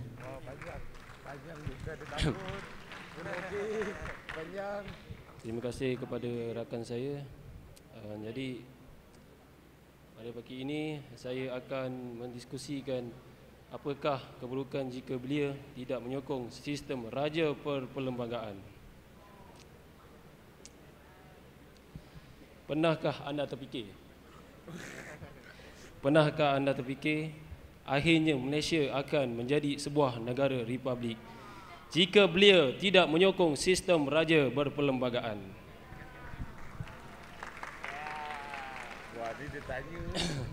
Siapa kata ia tidak boleh berlaku?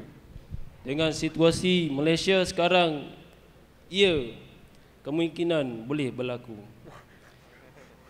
Maka itu, Malaysia boleh menjadi republik sistem pemerintahan Malaysia sekarang ialah sistem raja berperlembagaan. Sebagai negara sebagai negara republik, Malaysia akan memisahkan sistem beraja. Maka dengan itu, fungsi-fungsi institusi Raja Melayu akan dipisahkan daripada daripada sistem kerajaan. Pada masa itu, pada masa itu, Raja-Raja Melayu masih wujud. Tapi, ia tidaklah lagi berfungsi. Buat sementara waktu, Raja-Raja Melayu itu akan terus menikmati kemudahan. Sehingga ia mungkin kemudiannya akan ditarik sedikit demi sedikit. Untuk itu, apabila belia-belia tidak menyokong sistem raja berperlembagaan, maka sesebuah negara akan berlakunya kucah kacir dan akan membuat rusuhan. Ini kerana tidak ada rasa puas hati terhadap sistem raja berperlembagaan.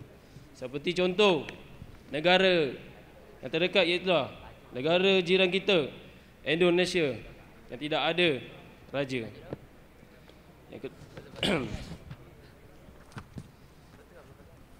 Ekonomi negara juga akan terjejas. Ini kerana golongan belia tidak bersepakat dan bersebadu dalam menyokong sistem sistem berperlembagaan.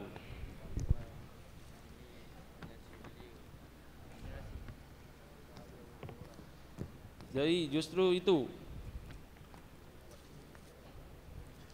Tak setia golongan belia tidak menunjukkan tak setia kepada raja. Kerana tidak menyokong sistem raja berperlembagaan dan hubungan di antara negara-negara luar untuk memberi projek pembangunan yang besar-besar sudah tiada. Peningkatan kadar jenayah pun boleh berlaku kerana banyak kerana terjejasnya ekonomi negara. Seperti contoh di dalam negara kita iaitu negeri Johor. Mampu melebarkan sayapnya, meluarkan kuasamu Johor seperti bola sepak dan JDT. Bak kata berbatah. Bak kata berbatah. Janganlah kita menjadi seekor ayam yang menunggu hanya untuk jagung ditabur. Jadilah kita sebagai tuan-tuan kepada ayam itu ingin menabur bakti seluruhnya. Tuan moderator. Izinkan saya sedikit uh, tentang rukun negara. Silakan. Yang pertama, kepercayaan kepada Tuhan. Bangsa dan negara ini telah diwujudkan atas kepercayaan kukuh kepada Tuhan. Perlembagaan persekutuan memperuntukkan bahawa Islam ialah agama rasmi persekutuan tetapi agama dan kepercayaan lain boleh diamalkan dengan tenteram. Yang kedua, kesetiaan kepada raja dan negara. Malaysia mengamalkan sistem demokrasi berparlimen dan raja berperlembagaan dengan Seri Paduka Baginda yang di-Pertuan Agong sebagai ketua negara. Ketiga, keluhuran perlembagaan. Prinsip ini sangat ini menekankan perlunya rakyat menerima, mematuhi dan mempertahankan keluhuran atau kemuliaan perlembagaan negara. Keempat, kedaulatan undang-undang. Keadilan diasingkan atas kedaulatan undang-undang di mana setiap di mana setiap rakyat sama tarafnya di sisi undang-undang negara. Kesopanan dan kesusilaan. Prinsip kelima ini menekankan perkembangan dan tinggal laku seseorang rakyat.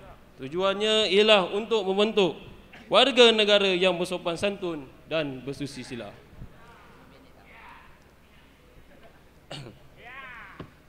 Dan ingin, ingin saya berkata kepada semua golongan belia, marilah kita bersama-sama menabur bakti kepada negara kita yang tercinta ini. Inilah saja negara kita yang ada. Sanjungilah raja-raja kita sama-sama kita menambah bakti sekali lagi. Seorang penjaga pernah mengatakan, jika hendak melihat sesebuah negara, lihatlah pada golongan pelapisnya kerana mereka lah yang mencorakkannya pada masa hadapan. Sekian, terima kasih. Ini sahaja hujah saya. Terima kasih kepada kumpulan MIA yang membawa tajuk sumbangan generasi Y terhadap Raja Permelabakan. Maka berakhirlah pusingan pertama ya. Dan jelasan daripada keempat-empat kumpulan. Maka kini saya buka kepada tuan-tuan daripada kumpulan untuk mengemukakan soalan atau pencadangan kepada kumpulan yang lain. Dipersilakan. Kumpulan Bravo. Bravo. Silakan kumpulan Bravo soalannya. Okey, Assalamualaikum. Saya ingin men, uh, mengemukakan soalan kepada kumpulan MIA. Ya, sedia kumpulan MIA untuk menjawab, ambil nota. Okey. Uh, Biar maklum. Jawab soalan dengan bernas, jawab dengan berhemah. Silakan. Uh, saudari uh, kumpulan uh, MIA menyatakan bahawa uh, golongan belia adalah daripada uh, umur 18 dan ke atas. Okey, uh, di sini saya ingin uh, bertanya, adakah mana-mana persatuan atau uh, badan-badan NGO yang boleh kita kita sertai di bawah uh, kementeri, apa ni untuk belia sertai dan di manakah untuk kita uh, uh, rujuk untuk kita merujuk untuk menyertai uh, mana-mana badan belia ataupun boleh tak kalau uh, senaraikan badan-badan belia yang ada di di negara kita. Itu saja yang berhormat. Okey, silakan. Macam mana nak daftar? Kat mana nak daftar? Jawab.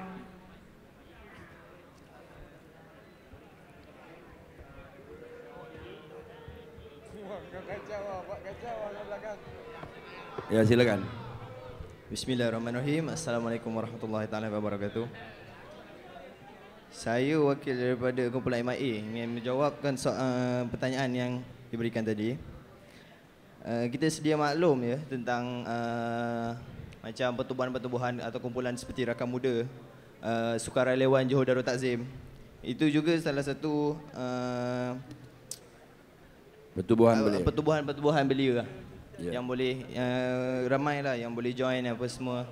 Sebab kat situ kita dapat menarik minat uh, belia-belia daripada mengelakkan daripada pengangguran ataupun daripada melepak-melepak tempat-tempat yang tak sepatutnya. Bila adanya uh, kumpulan-kumpulan seperti Rakam Muda, Sukarelawan Johor Darul Takzim ini dapat mengelakkan daripada uh, unsur-unsur negatif daripada belia.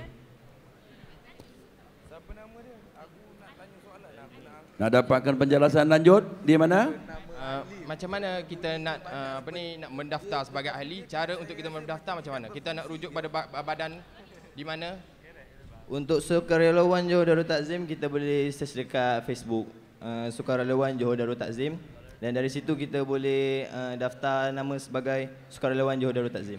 Melalui laman sosial Facebook. Ah, Okey. Okey, terima kasih. Terima kasih. Atau lebih mudah hubungi dengan pejabat belia dan sukan daerah ya untuk mendapatkan maklumat lanjut. Terima kasih. Soalan kedua kalau ada. Ya silakan kumpulan. Jawab cepat. Daripada soal kampus kumpulan.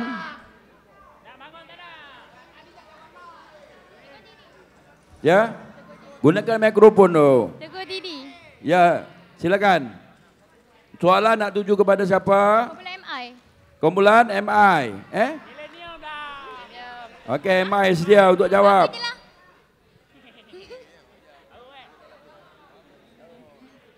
Um, nak tanya, bagaimanakah kita ingin mengesan jika kita kehilangan jati diri dalam diri kita? Ha, Nak meningkatkan jati diri dalam diri kita. Tingkatkan diri diri dalam diri kita. Jawab. Jangan tak jawab. Uh, maafkan saya buat yang berhormat. Izinkan saya memohonlah. Sekali lagi.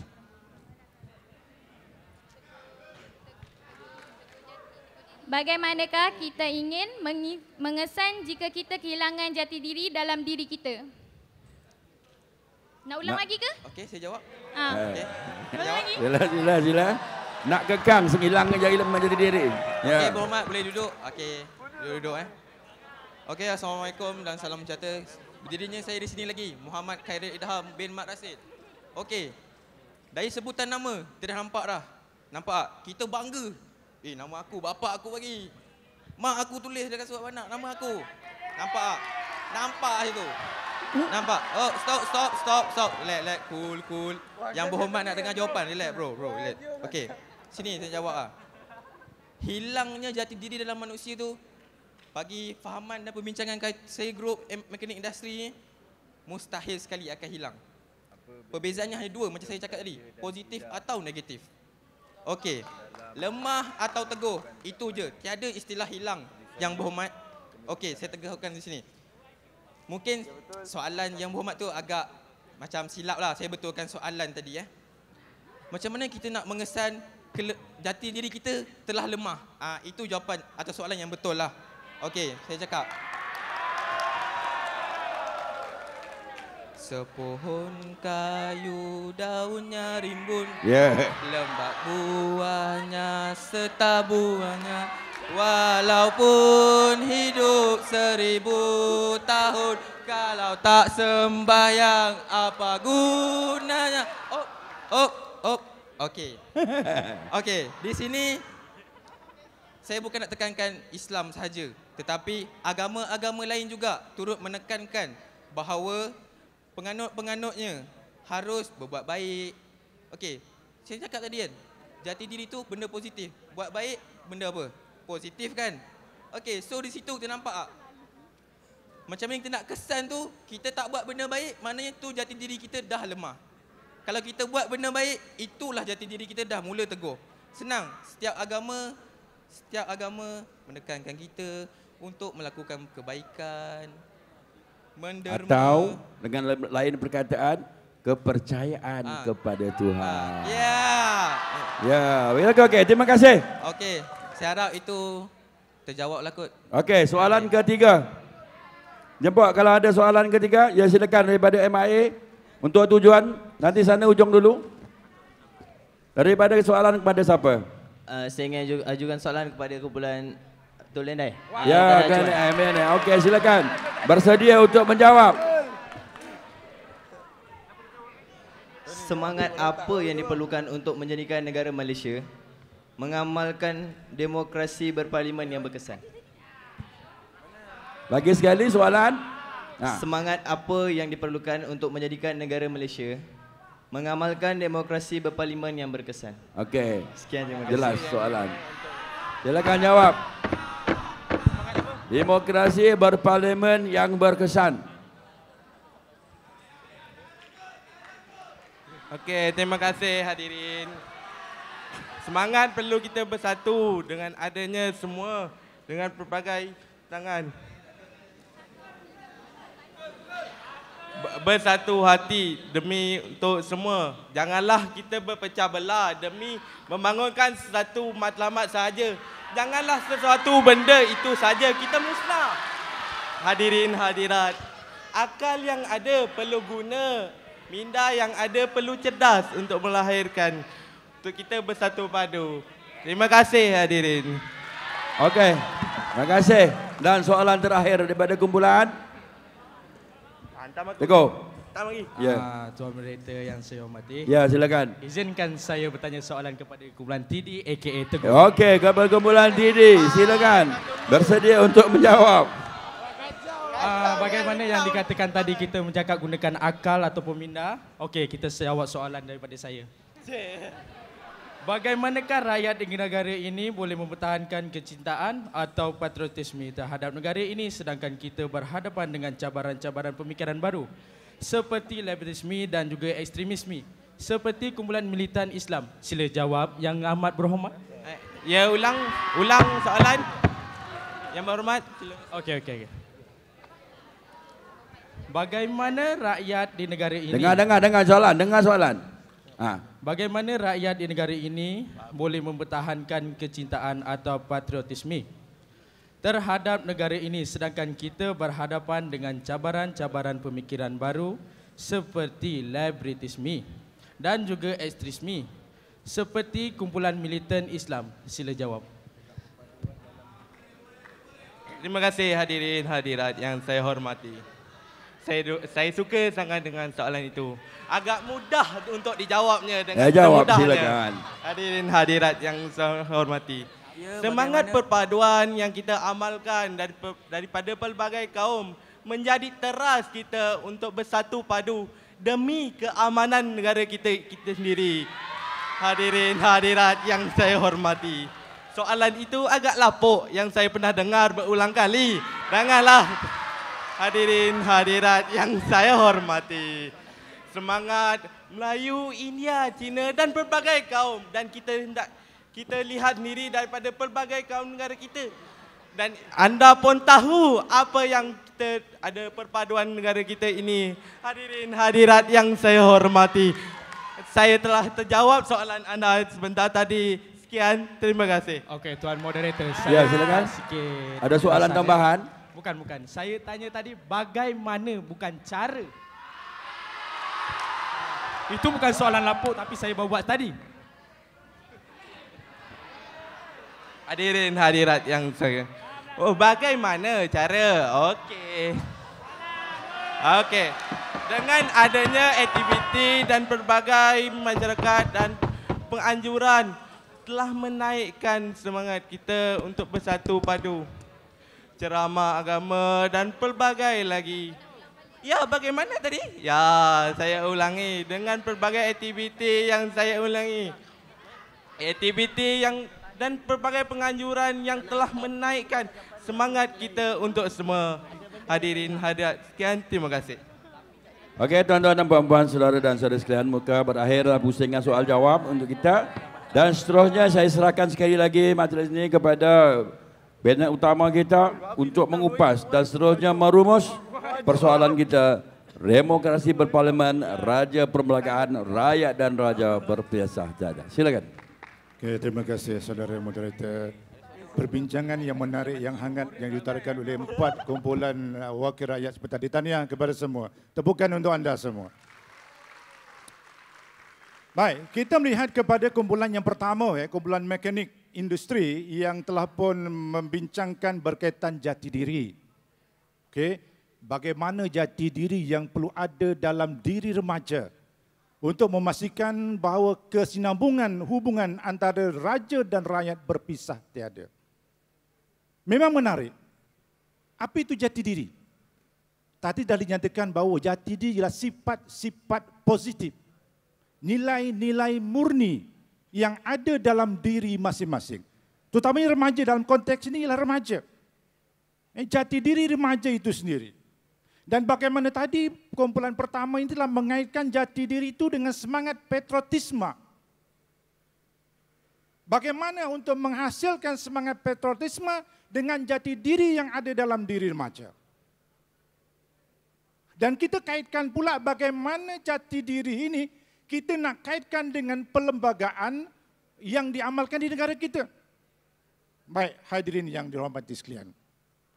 Kalau jati diri seseorang remaja itu positif, bermakna mereka ini akan menjadi warga negara yang berguna, warga negara yang menghormati undang-undang, warga negara yang patuh dengan peraturan.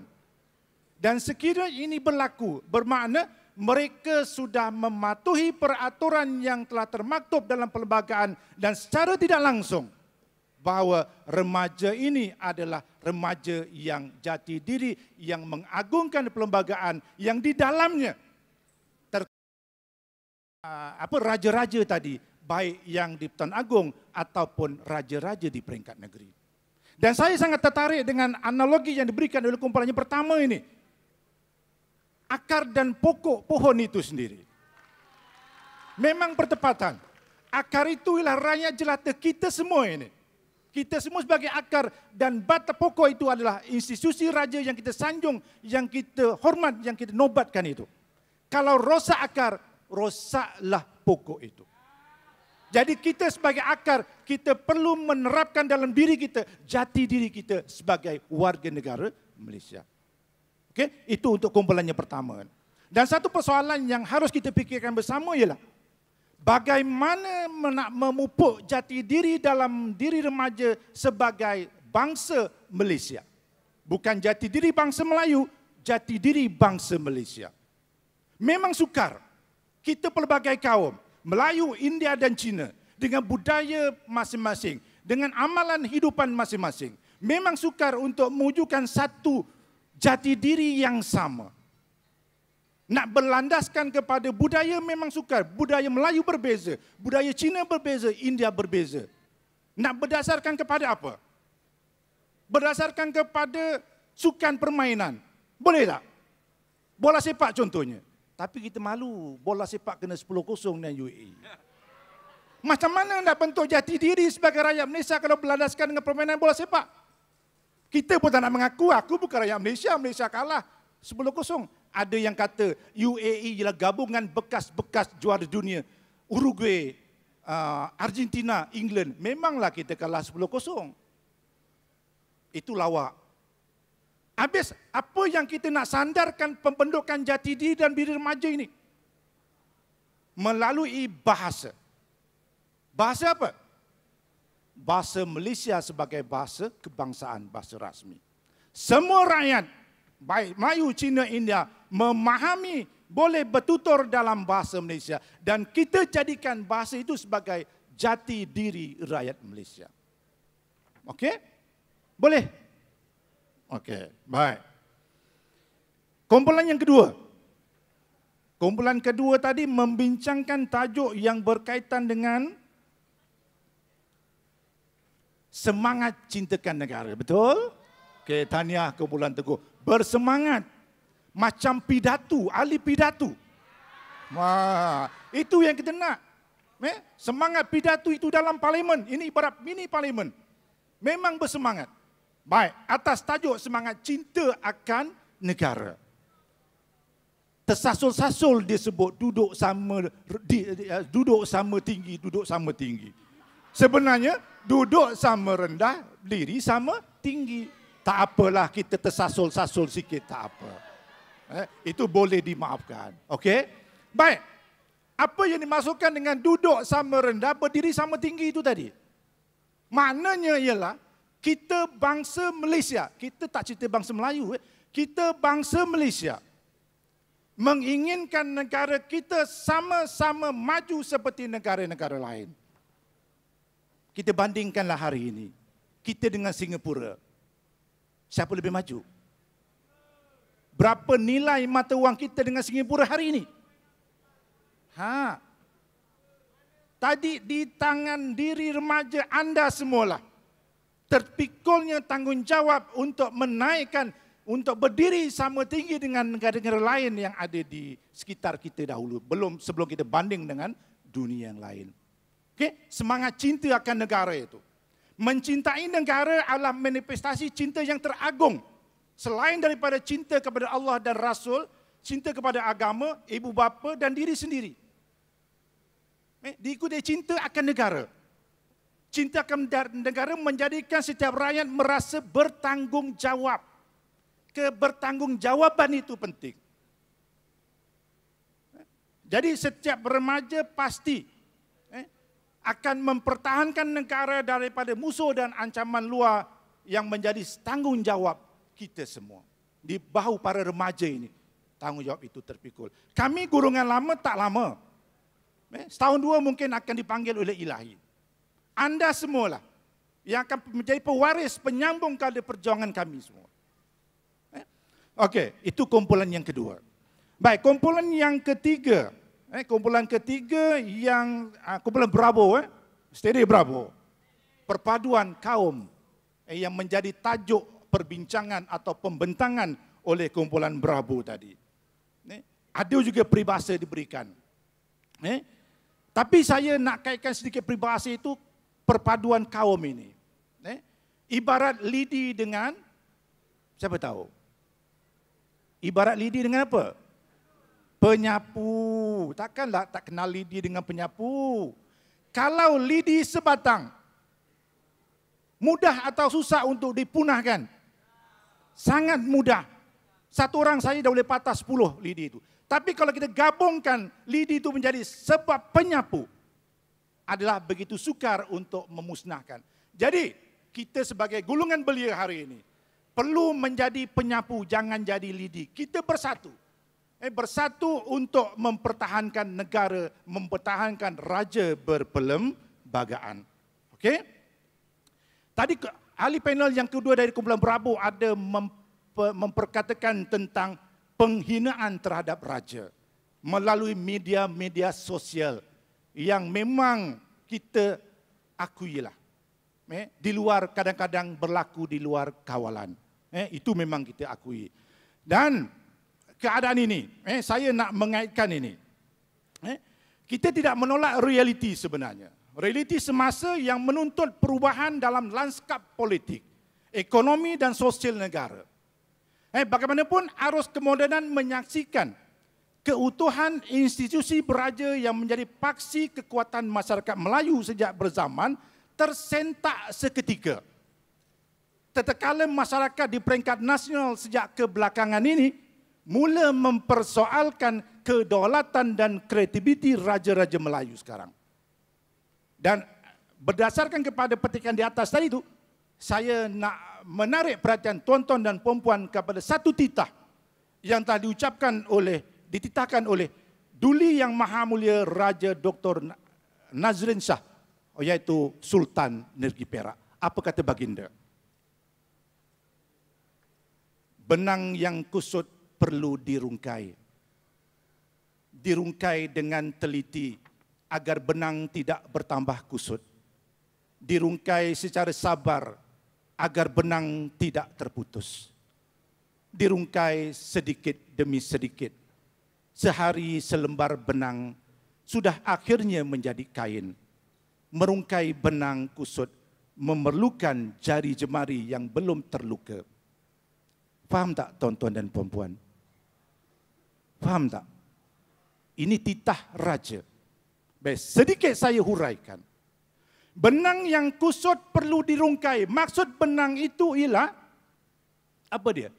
Permasalahan yang timbul, perspektif rakyat terhadap raja yang semakin merosot perlu dirungkai. Dirungkai maknanya perlu diselesaikan. Masalah yang timbul antara rakyat dengan raja perlu diselesaikan. Dan bagaimana cara penyelesaian? Dirungkai dengan teliti agar benang tidak bertambah kusut. Maknanya diselesaikan dengan penuh diplomasi agar permasalahan itu tidak menjadi bertambah rumit. Ini yang jadi masalah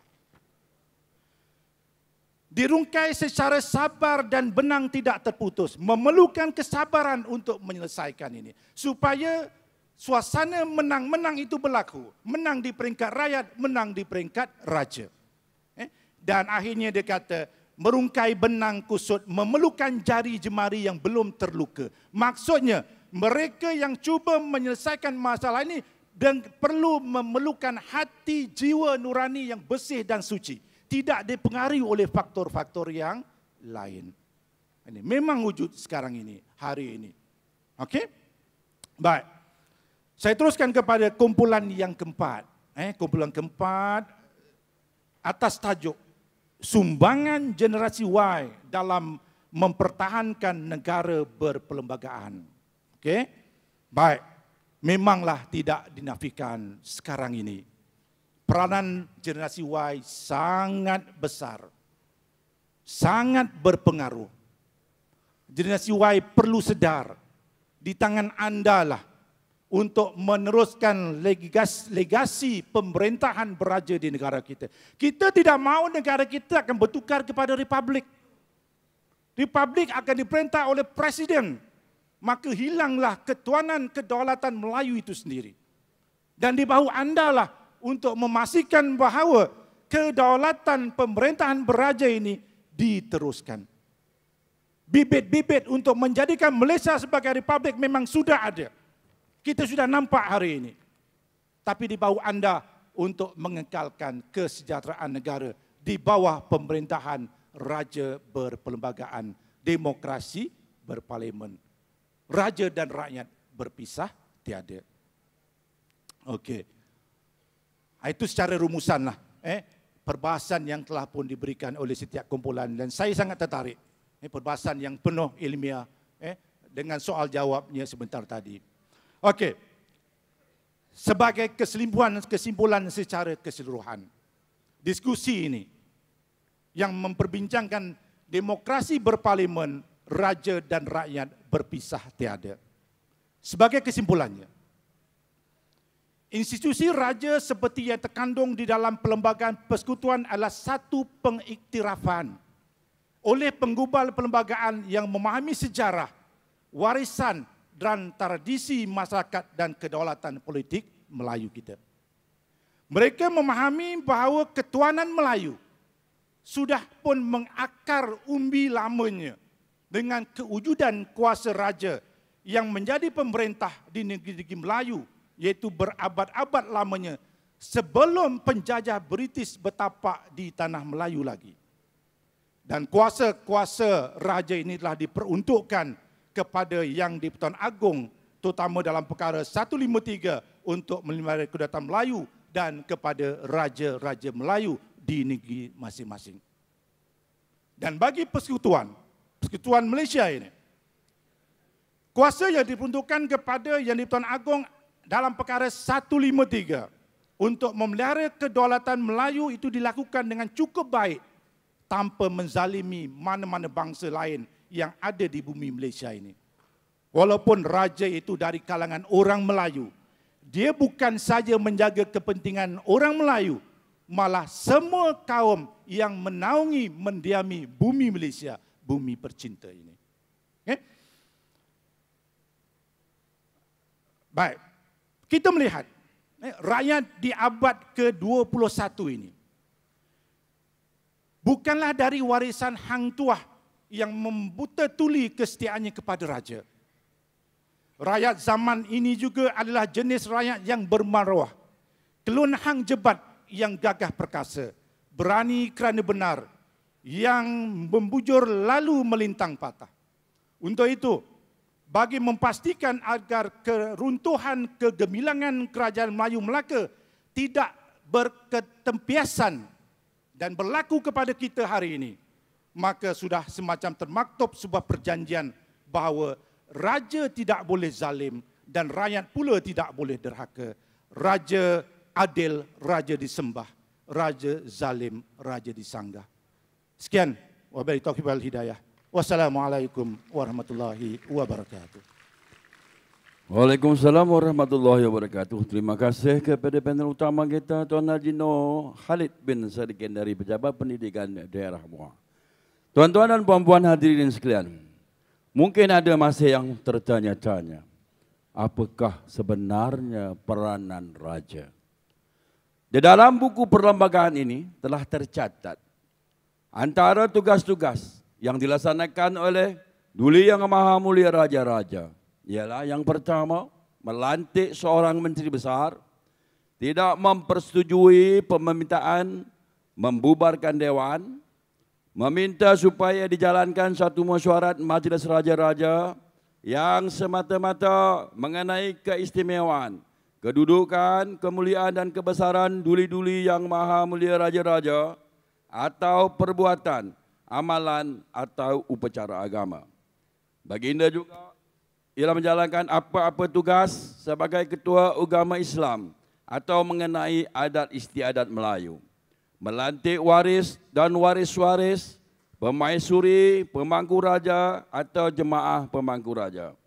Baginda juga bertanggungjawab melantik orang yang memegang pangkat, gelaran, kemuliaan dan kebesaran di sisi adat Melayu dan menetapkan tugas-tugas yang berkenaan dengannya dan meninggi baginda juga membuat peraturan mengenai balai-balai di Raja Malaysia.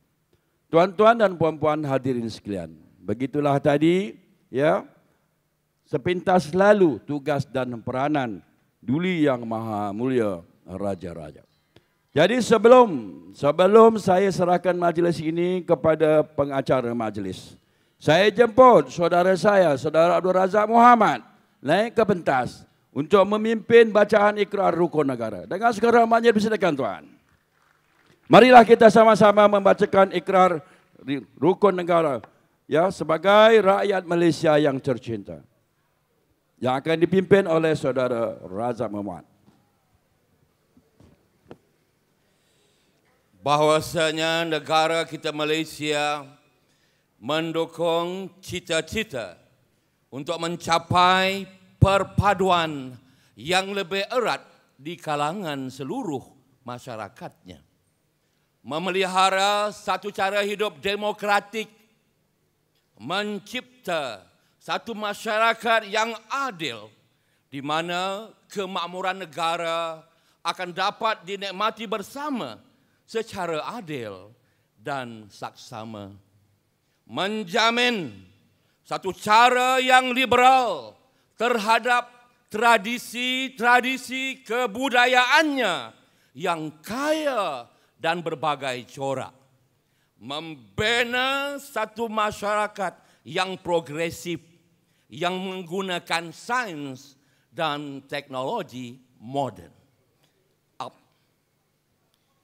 Maka kami Maka kami rakyat Malaysia rakyat Malaysia berikrar berikrar akan menumpukan akan menumpukan seluruh tenaga seluruh tenaga dan usaha kami dan usaha kami untuk mencapai untuk mencapai cita-cita tersebut cita-cita tersebut berdasarkan berdasarkan prinsip-prinsip yang berikut. Prinsip-prinsip yang berikut. Kepercayaan kepada Tuhan. Kepercayaan kepada Tuhan. Kesetiaan kepada raja dan negara. Kesetiaan kepada raja dan negara, keluhuran perlembagaan, keluhuran perlembagaan, kedaulatan undang-undang, kedaulatan undang-undang, kesopanan dan kesusilaan, kesopanan dan kesusilaan. Terima kasih. Malaysia sehati sejiwa. Terima kasih Saudara Razak. Hadirin sekalian, ketibaan Yang Berhormat Datuk Dr. Syahrudin bin Mat Saleh, Ahli Dewan Undangan Negeri Kawasan Jorak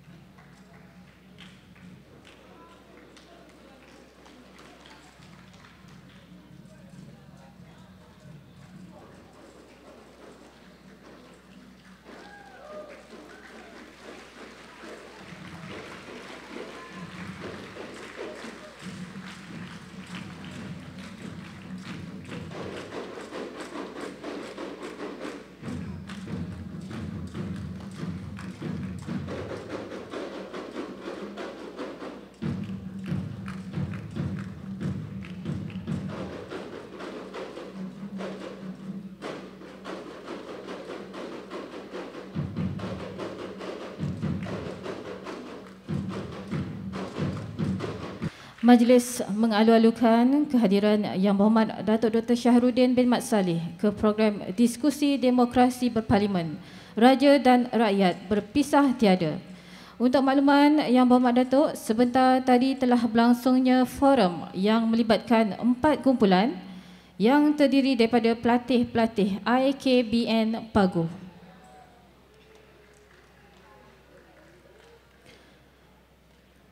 Hadirin yang dihormati sekalian, meneruskan acara, majlis mempersilakan yang dihormati Tuan Haji Abdul Hamid bin Kasiman, Pengarah Institut Kemahiran Belia Negara IKBN Paguh untuk menyampaikan ucapan aluan. Dipersilakan.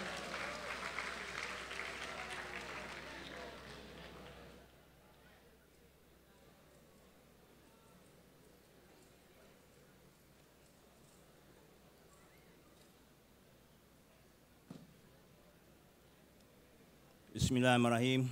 Terima kasih pengacara majlis. Allahumma salli ala sayyidina Muhammad wa ala ali sayyidina Muhammad. Allahumma salli ala sayyidina Muhammad wa ala ali sayyidina Muhammad. Allahumma salli ala sayyidina Muhammad wa ala ali sayyidina Muhammad. Bismillahirrahmanirrahim. Assalamualaikum warahmatullahi wabarakatuh.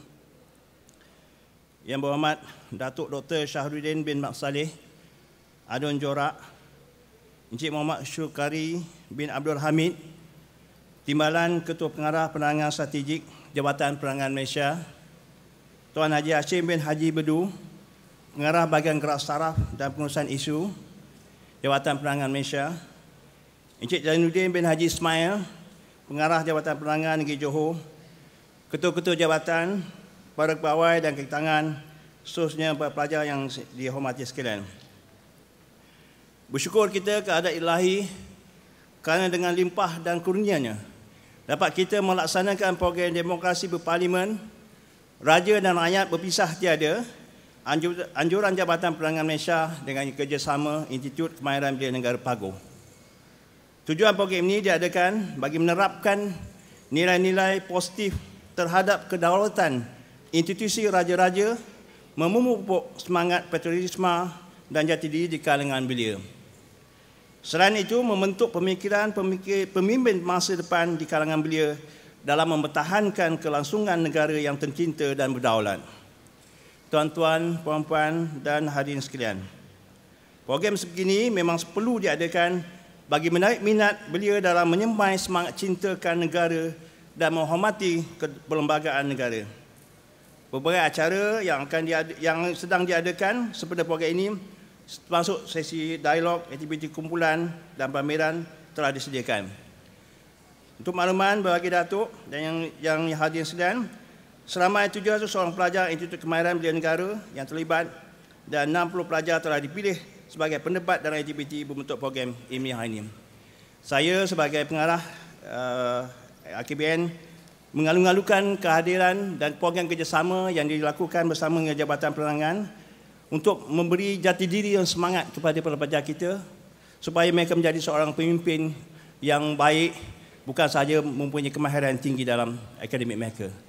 Jadi sekali lagi saya ingin mengucapkan uh, ribuan terima kasih kepada Jabatan Penerangan dan semua pegawai yang terlibat yang dapat hadir bersama dan uh, kami amat mengalu-alukan kehadiran Tuan Datuk dan yang daripada uh, Tuan Haji uh, sorry daripada uh, Cik Muhammad Syukri bin Abdul Hamid uh, Ketua Timbalan Ketua Pengarah kerana dapat hadir bersama dengan program ini. Dengan itu, Assalamualaikum warahmatullahi wabarakatuh. Terima kasih.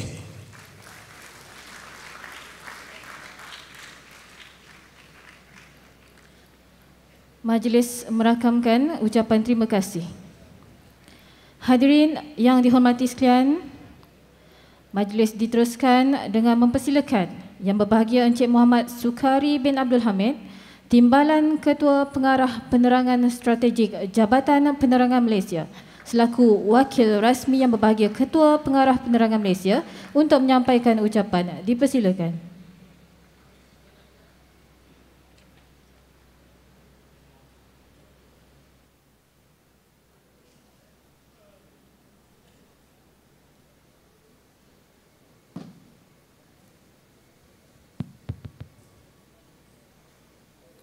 Bismillahirrahmanirrahim.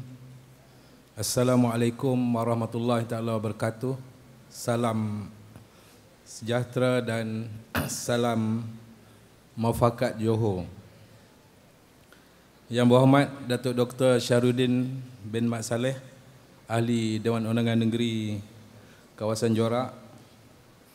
Bahagia Tuan Haji Abdul Hamid, Pengarah IKBN Pagoh Encik Abdul Rahman Wakil Pegawai Daerah Tuan Haji Hashim Haji Bedu Pengarah Bahagian Gerak Saraf dan Ibu Pejabat Jabatan Penerangan Malaysia Cik Zainuddin Haji Ismail Pengarah Penerangan Negeri Johor Tuan-tuan dan puan-puan yang dihadiri sekalian. Alhamdulillah syukur kehadrat Allah Subhanahu Wa Taala kerana pada hari ini dapat kita bersama-sama di dalam forum mengenai demokrasi berparlimen raja dan rakyat berpisah tiada. Jadi terlebih dahulu bagi pihak Jabatan Penerangan Malaysia ingin merakamkan setinggi-tinggi terima kasih terutama sekali kepada Yang Berhormat Datuk atas kesudian untuk hadir bagi menyempurnakan majlis perasmian penutup bagi forum pada hari ini. Dan seterusnya ucapan terima kasih juga kepada yang berbahagia Tuan Haji Abdul Hamid pengarah IKBN Pagoh kerana kerjasama yang diberikan bagi menjayakan majlis pada hari ini. Yang berhormat Datuk, tuan-tuan dan puan-puan sekalian. Jika kita menelusuri semula zaman Kesultanan Melayu, ianya bermula daripada zaman kedatangan para meswara pada kurun yang ke-14 Masihi dulu. Di mana pada masa itu tertubuhnya Melaka eh, merupakan bandar yang pelabuhan yang termasyur di seluruh dunia. Oleh itu jika kita berbicara mengenai institusi beraja ini mungkin kita tidak boleh melupakan seperti kata pepatah Melayu kalau tidak ada tiang mungkin bagaimana mungkin terbinanya sebuah rumah. Ha, itu dulu. Tapi sekarang ni tiang mungkin pada pandangan generasi sekarang ni tiang rumah tak ada tiang pun ada. Ya. Jadi tuan-tuan dan puan-puan, kalau kita lihat kepada tema yang kita perbincangkan tadi mengundang pelbagai pandangan sebenarnya. Walau bagaimanapun, semoga di sebalik segala kepelbagaian pandangan ini pada akhirnya nanti kita akan bersua di dalam satu laluan intelek yang membolehkan berlakunya pertemuan pemikiran secara objektif dan rasional menerima hakikat bahawa perbezaan pandangan itu adalah satu kekuatan yang konsensus dalam hasrat membina satu persefahaman satu semangat untuk membangunkan sebuah negara Malaysia yang berdaulat lagi merdeka, gagah lagi perkasa, adil lagi saksama dan makmur lagi sejahtera. Institusi Raja Melayu telah lama berakar subur di bumi Malaysia ini. Institusi pemerintahan yang lengkap tersusun lagi teratur. Raja pemerintah silih berganti tetapi setiap kerajaan berupaya untuk meneruskan untuk mengekalkan identiti bangsa ini. Kesultanan Melayu adalah satu manifestasi adalah satu lambang keagungan tamadun bangsa. Sembilan raja-raja Melayu yang bersemayam di atas tahta pemerintahan di sembilan negeri yang berdaulat sebelum terbinanya sebuah Persekutuan Tanah Melayu. Persekutuan Tanah Melayu adalah gabungan sembilan negeri berdaulat dengan dua, dua negeri selat telah dilahirkan setelah mendapat perkenan ke sembilan raja-raja Melayu. Kemudian ia diperluaskan dengan pernyataan Sabah dan Sarawak untuk membentuk negara Malaysia. Ketika merangka formula untuk membentuk merdeka sistem pemerintahan beraja terlalu berharga untuk dilepaskan. Sebaliknya ia kekal diluhurkan dengan sebaik-baik pendekatan dalam perlembagaan persekutuan. Tuan-tuan dan puan-puan sekalian almarhum Tunku Abdul Rahman Putra telah memilih untuk mengasaskan sistem berkerajaan dan bernegara yang mengagungkan institusi raja dan menggabungkan dengan institusi rakyat memperkenalkan konsep raja berperlembagaan dan demokrasi berparlimen. Kedaulatan raja diberikan wajah yang baru dirangkaikan dengan suara rakyat dalam satu ikatan yang harmoni Konsep warga atau rakyat di negeri Melayu beraja pada zaman silam adalah berpaksikan kepada raja berlainan dengan tradisi beraja di negara-negara Eropah. Rakyat kepada Raja Melayu tidak menetap di dalam wilayah ataupun sempat mengikut tradisi Eropah tetapi hidup tertakluk kepada citra kesetiaan seseorang insan untuk berada di bawah payung naungan raja.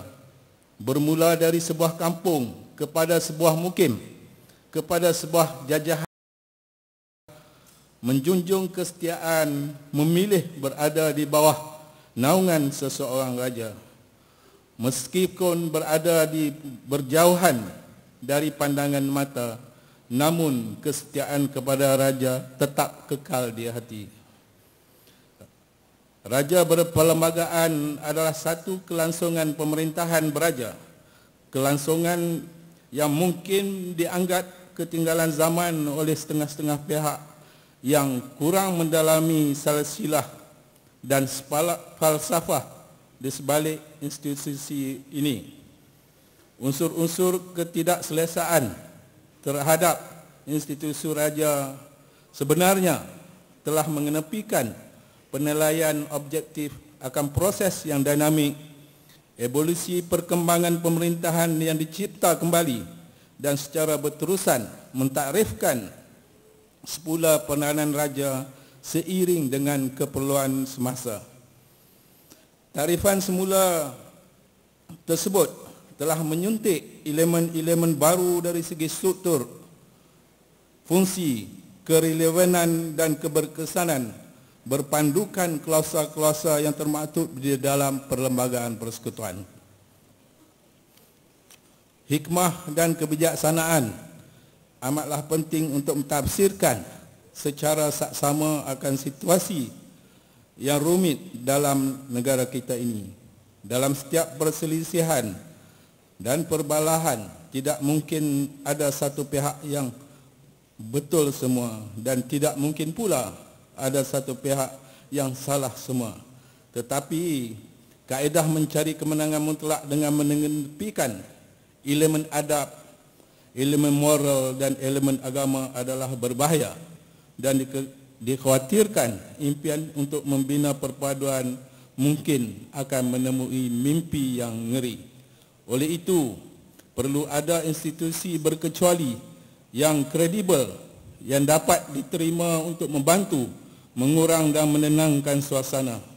Untuk itu adalah penting institusi raja berperlembagaan di dalam ruang kuasa yang diperuntukkan memainkan peranan apabila berlakunya suasana seperti ini demi kepentingan rakyat jelata.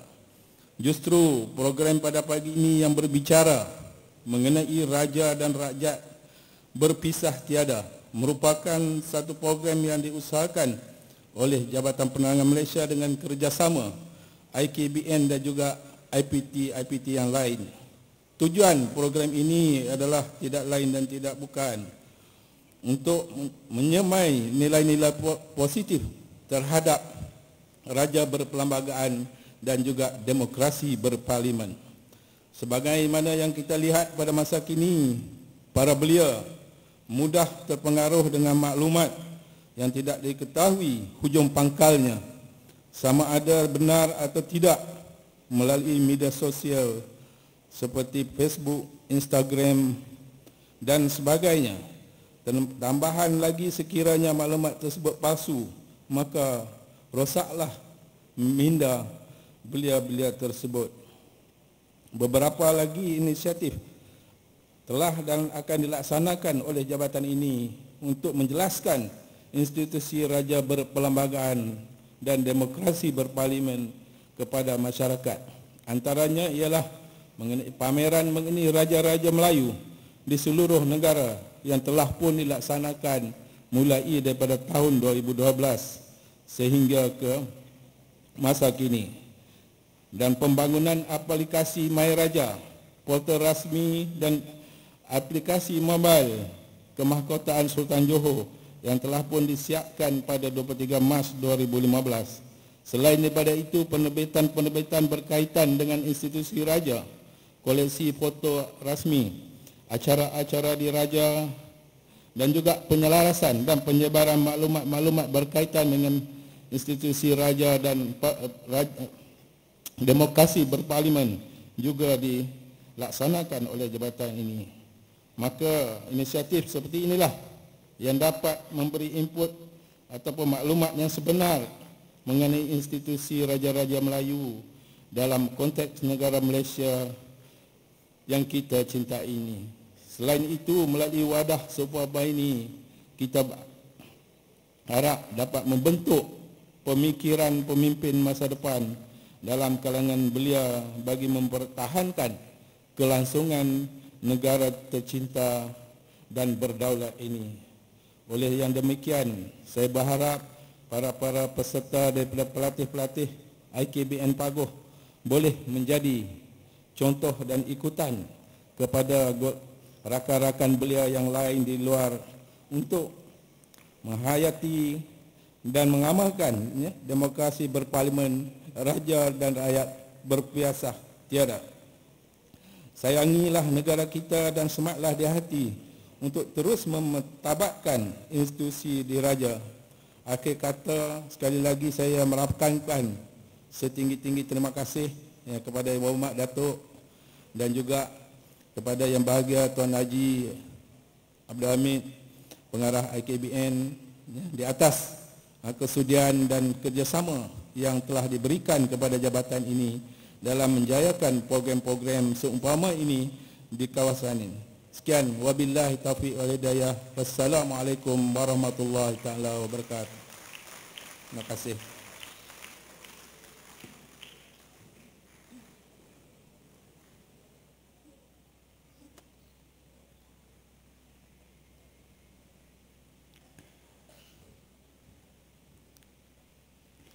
Majlis merakamkan ucapan terima kasih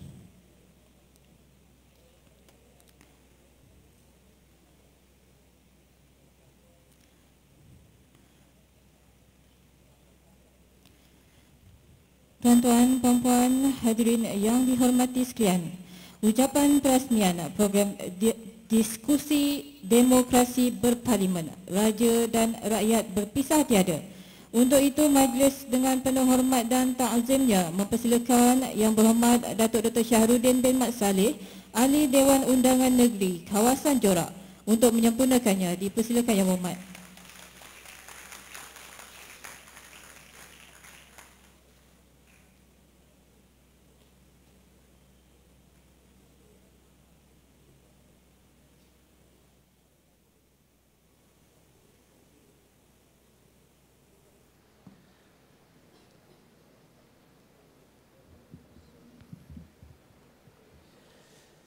Assalamualaikum warahmatullahi wabarakatuh. Salam sejahtera. Selamat pagi. Salam muafakat Johor. Bismillahirrahmanirrahim. Alhamdulillahirabbil Wassalatu wassalamu ala Sayyidina Muhammadin asrafil anbiya mursalin Sayyidina Muhammad wa ala alihi wa sahbihi ajmain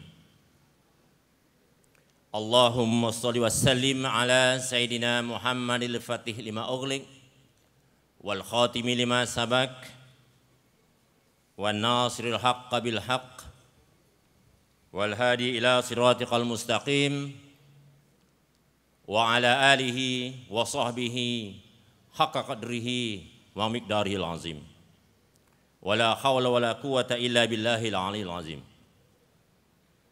Terima kasih kepada pengacara majlis yang berbahagia Encik Muhammad Syukari bin Abdul Hamid Timbalan Ketua Pengarah Penerangan Strategik Jabatan penerangan Malaysia yang berbahagia Tuan Pengarah IKBN Pago Tuan Haji Abdul Hamid Kasiman yang uh, berusaha Tuan Haji Hasim Haji Bedu Pengarah bahagian gerak saraf dan pengurusan isu Jabatan Penerangan Malaysia yang berusaha Encik Zainuddin Ismail pengarah penerangan Negeri Johor, rakan-rakan lain, Encik Abdul Rahman, Penolong Pegawai Daerah Muar, Saudara Hanan, juga sebagai Ketua Jabatan uh, Penerangan Daerah Muar, Dev-Dev Jemputan, pegawai-pegawai dan staf Jabatan Penerangan, juga staf IKBN, anak-anak IKBN semua, anak-anak pelajar dalam Parlimen Pago, ahli-ahli peserta-peserta forum, ada empat kumpulan daripada pelatih-pelatih IKBN, juga anak-anak yang uh, kumpulan kompang yang begitu hebat sekali. Tuan-tuan, puan-puan, anak-anak yang saya hormati sekalian. Alhamdulillah, pada pagi yang mulia ini dapat sama-sama kita berhimpun di sini dalam program demokrasi berparlimen, raja dan rakyat berpisah tiada. Jadi kita memanjatkan rasa syukur yang setinggi-tingginya, setulus-tulusnya ke hadrat Allah SWT kerana dapat kita bersama-sama pada pada pagi yang mulia ini. Saya juga ingin merakamkan rasa ucapan terima kasih atas jemputan yang disampaikan kepada saya dan memungkinkan saya hadir pada pagi ini khususnya kepada yang bahagia Encik Sukari Abdul Hamid dan rakan-rakan Jabatan Penerangan Malaysia atas jemputan itu. Begitu juga kepada semua staf AKBN, para pelajar anak pelajar yang dapat menghadirkan diri pada pagi ini saya ucapkan tahniah. Juga saya ingin menyebutkan di sini betapa penglibatan anak-anak AKBN dalam program-program yang dijalankan dalam daerah ini. Khususnya saya ingin mengucapkan taniah kepada skuad AKBN Pago yang telah memenangi Naib Johan perbarisan Hari Kemerdekaan bagi daerah Muar baru-baru ini. Berikan tepukan kepada skuad ini. Sesungguhnya pernyataan itu melambangkan dan menunjukkan bahawa anak-anak kita adalah generasi demokrasi berparlimen. Alhamdulillah saya kira program ini mempunyai satu impak yang cukup penting kepada masyarakat kita terutama para belia sekalian.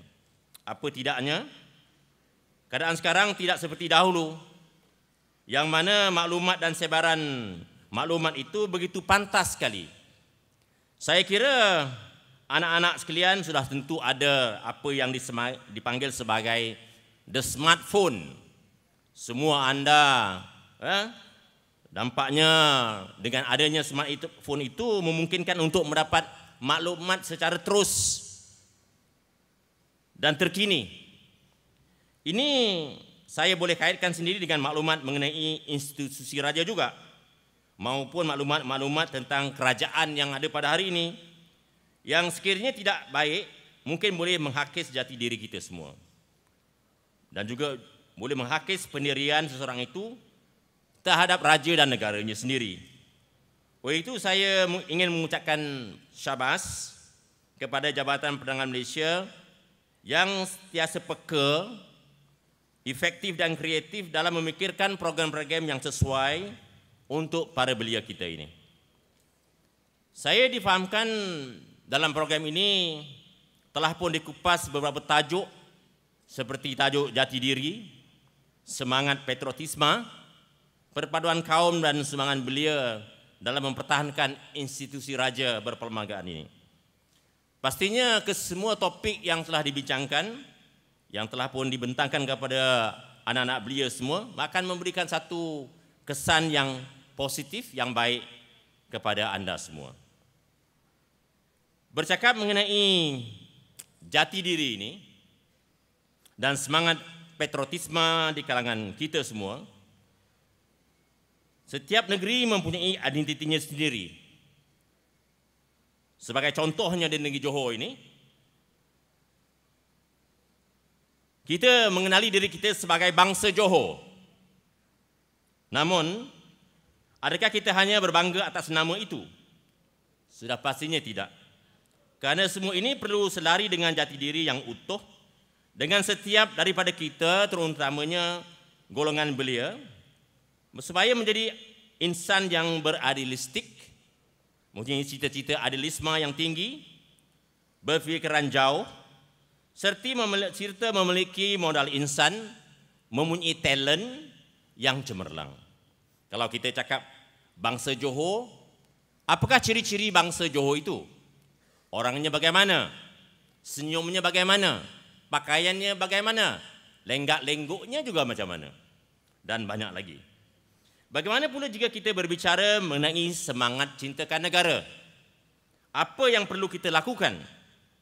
Pada hemat saya, perkara asas adalah kita berfikir dan bertindak untuk sentiasa memberi yang terbaik untuk negara kita ini.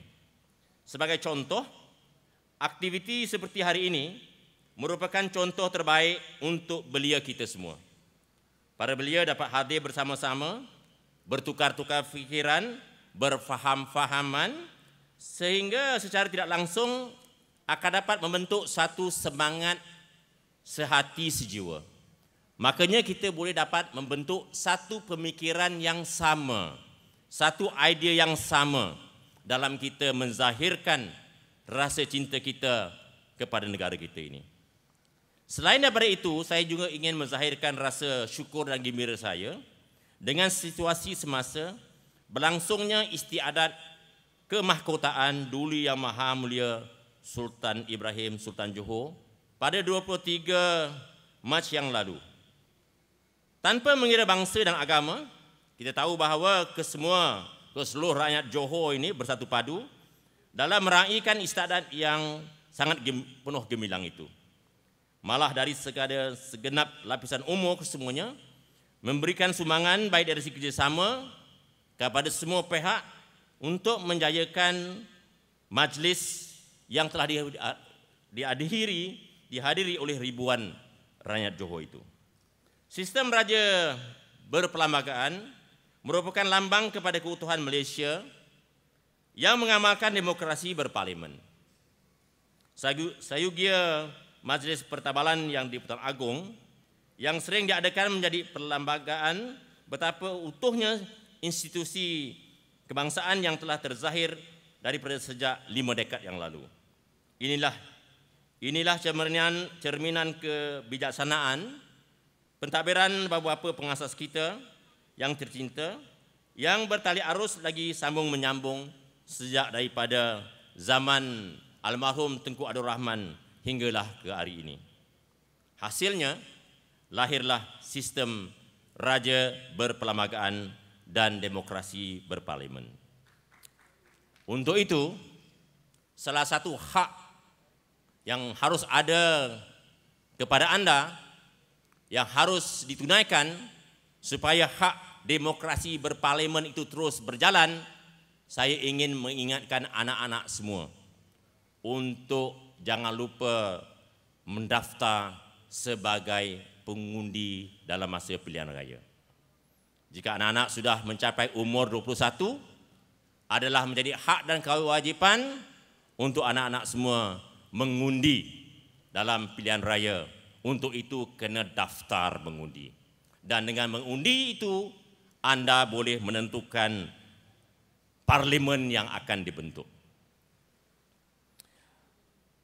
Makanya wujudlah bila parlimen terwujud maka wujudlah pelbagai perancangan dan program yang menjadi pemangkin kepada transformasi Malaysia. Kita tahu bahawa dahulunya negara kita sebagai sebuah negara pertanian berpendapatan rendah kepada sebuah negara pada hari ini sebagai sebuah negara berpindustrian moden berpendapatan sederhana tinggi dan tinggi. Sebab itulah anda pada hari ini rata-rata mengikuti kursus-kursus eh, berteknologi tinggi ini. Maka di sini kita lihat peranan yang dimainkan oleh rakyat. untuk sentiasa mendukung atau menjadi cerminan terhadap sesebuah institusi raja. Institusi raja disebut sebagai betullah pepatah mengatakan bahawa raja dan rakyat berpisah tiada.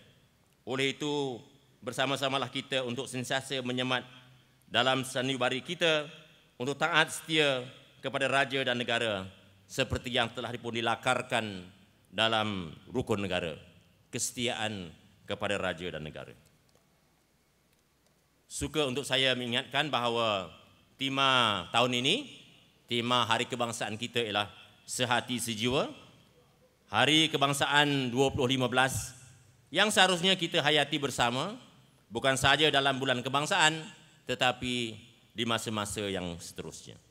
Tema ini dipilih bagi melambangkan semangat kesepaduan kita yang kita miliki oleh semua rakyat tidak kira bangsa dan di mana juga kita berada sehati sejiwa boleh diartikan sebagai satu ikatan hubungan dan kebersamaan ia mencerminkan roh kesepaduan kesefahaman kekitaan dan kemanusiaan seluruh rakyat Malaysia negara kita ini akhir kata sekali lagi saya ingin mengucapkan jutaan terima kasih khususnya kepada pihak Jabatan Perdagangan Malaysia, kepada pihak IKBN Pagoh, anak-anak Pagoh, atas kerjasama yang erat sehingga memungkinkan program ini dapat dilaksanakan.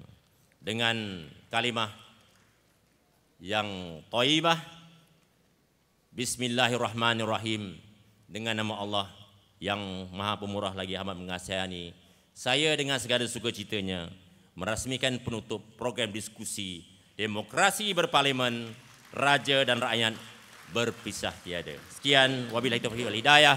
Wassalamualaikum warahmatullahi wabarakatuh. Dipohonkan yang berhormat Datuk untuk terus berada di pentas untuk acara seterusnya.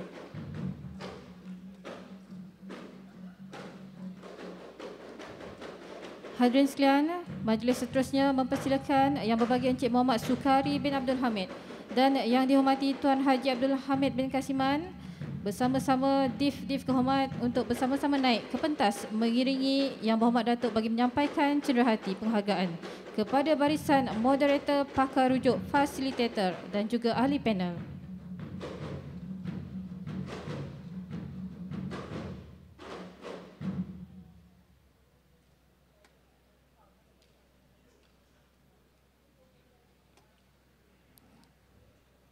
Baiklah sebagai tanda penghargaan kepada barisan moderator, pakar rujuk, fasilitator dan juga ahli panel, dipersilakan Tuan Moderator Encik Sakimin bin Ahmad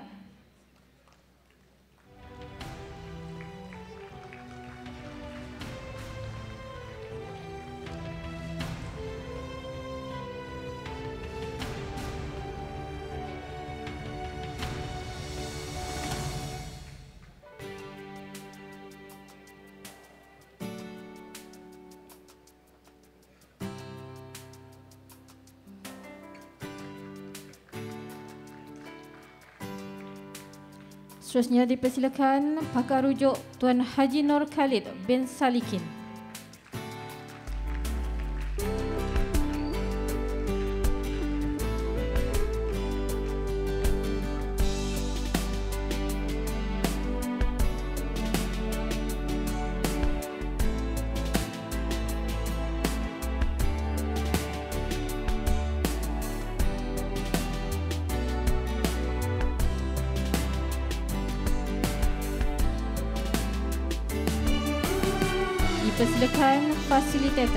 Encik Muhammad Ayub bin Abdul Razid.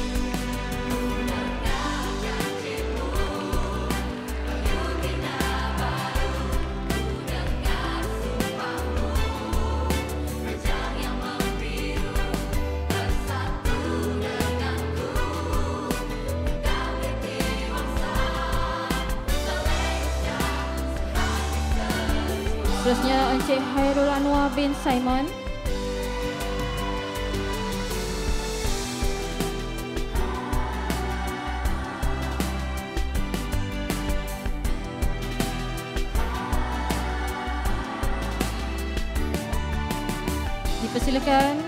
Encik Abdul Razak bin Muhammad.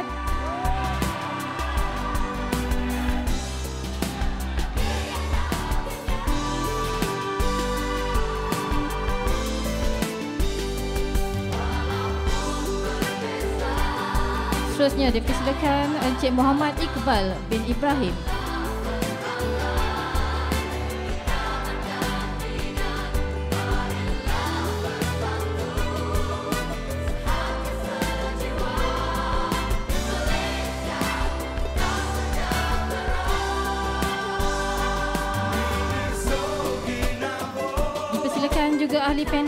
Dari kumpulan Millennium Crew Muhammad Hairul Idham bin Mat Rashid.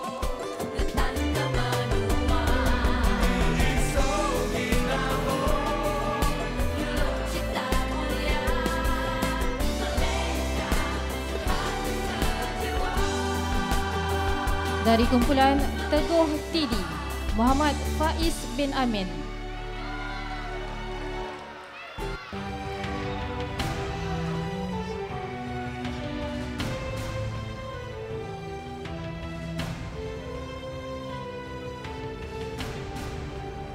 Seterusnya dari kumpulan Bravo Muhammad Badawi bin Badurin.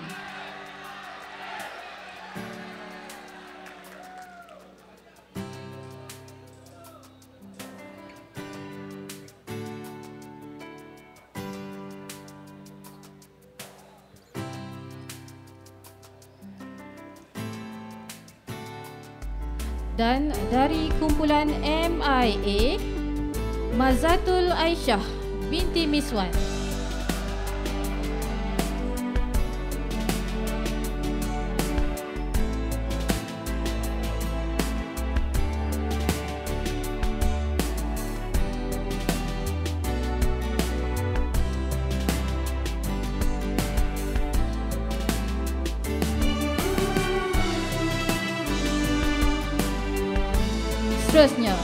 Diumumkan kumpulan terbaik bagi program diskusi demokrasi berparlimen Raja dan Rakyat berpisah tiada yang telah dipilih berdasarkan kriteria penyampaian, isi kandungan, persembahan dan juga kreativiti.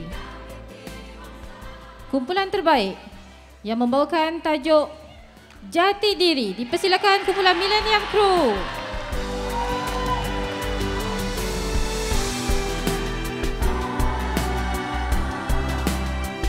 Persilakan semua ahli kumpulan dan juga fasilitator untuk naik ke pentas.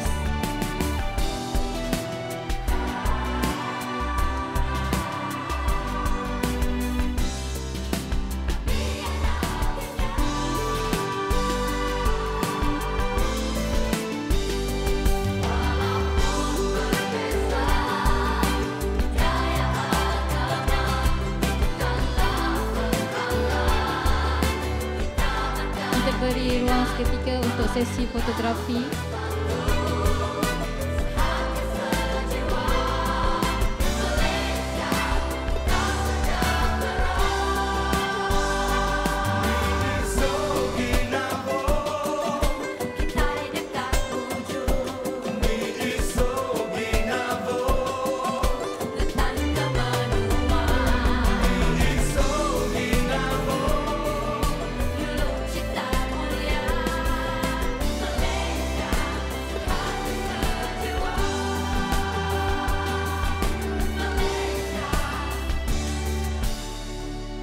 Tahniah kepada kumpulan Millennium Crew. Berikan satu tepukan yang gemuruh.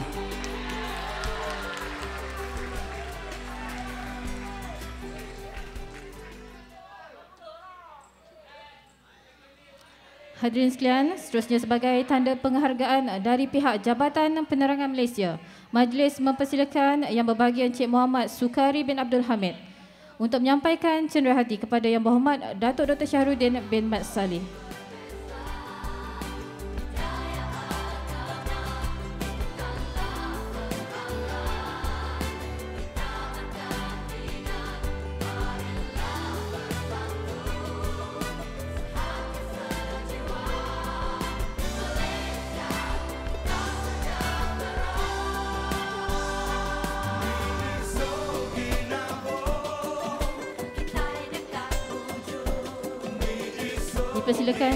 Yang dihormati Tuan Haji Abdul Hamid untuk menerima cenderahati daripada pihak Jabatan Penerangan Malaysia.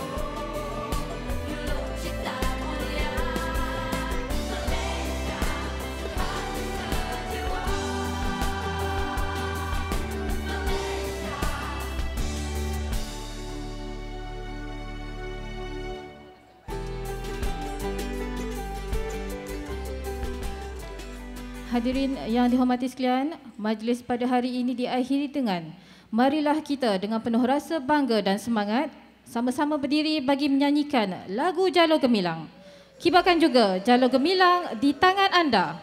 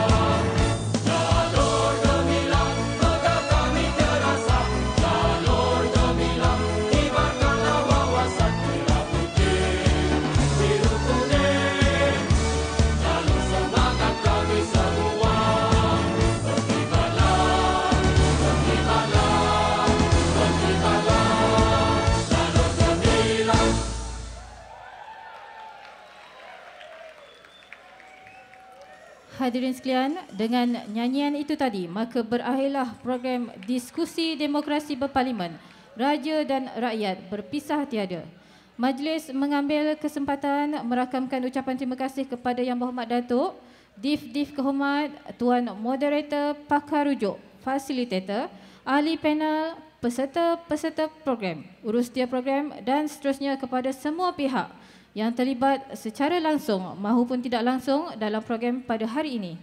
Seterusnya, majlis mempersilakan Yang Berhormat Datuk bersama-sama Div Kehormat dan juga tetamu jemputan untuk menikmati jamuan yang telah disediakan di luar Dewan. Sementara kepada pelatih-pelatih IKBN dimaklumkan bahawa jamuan makan disediakan di Dewan Makan IKBN.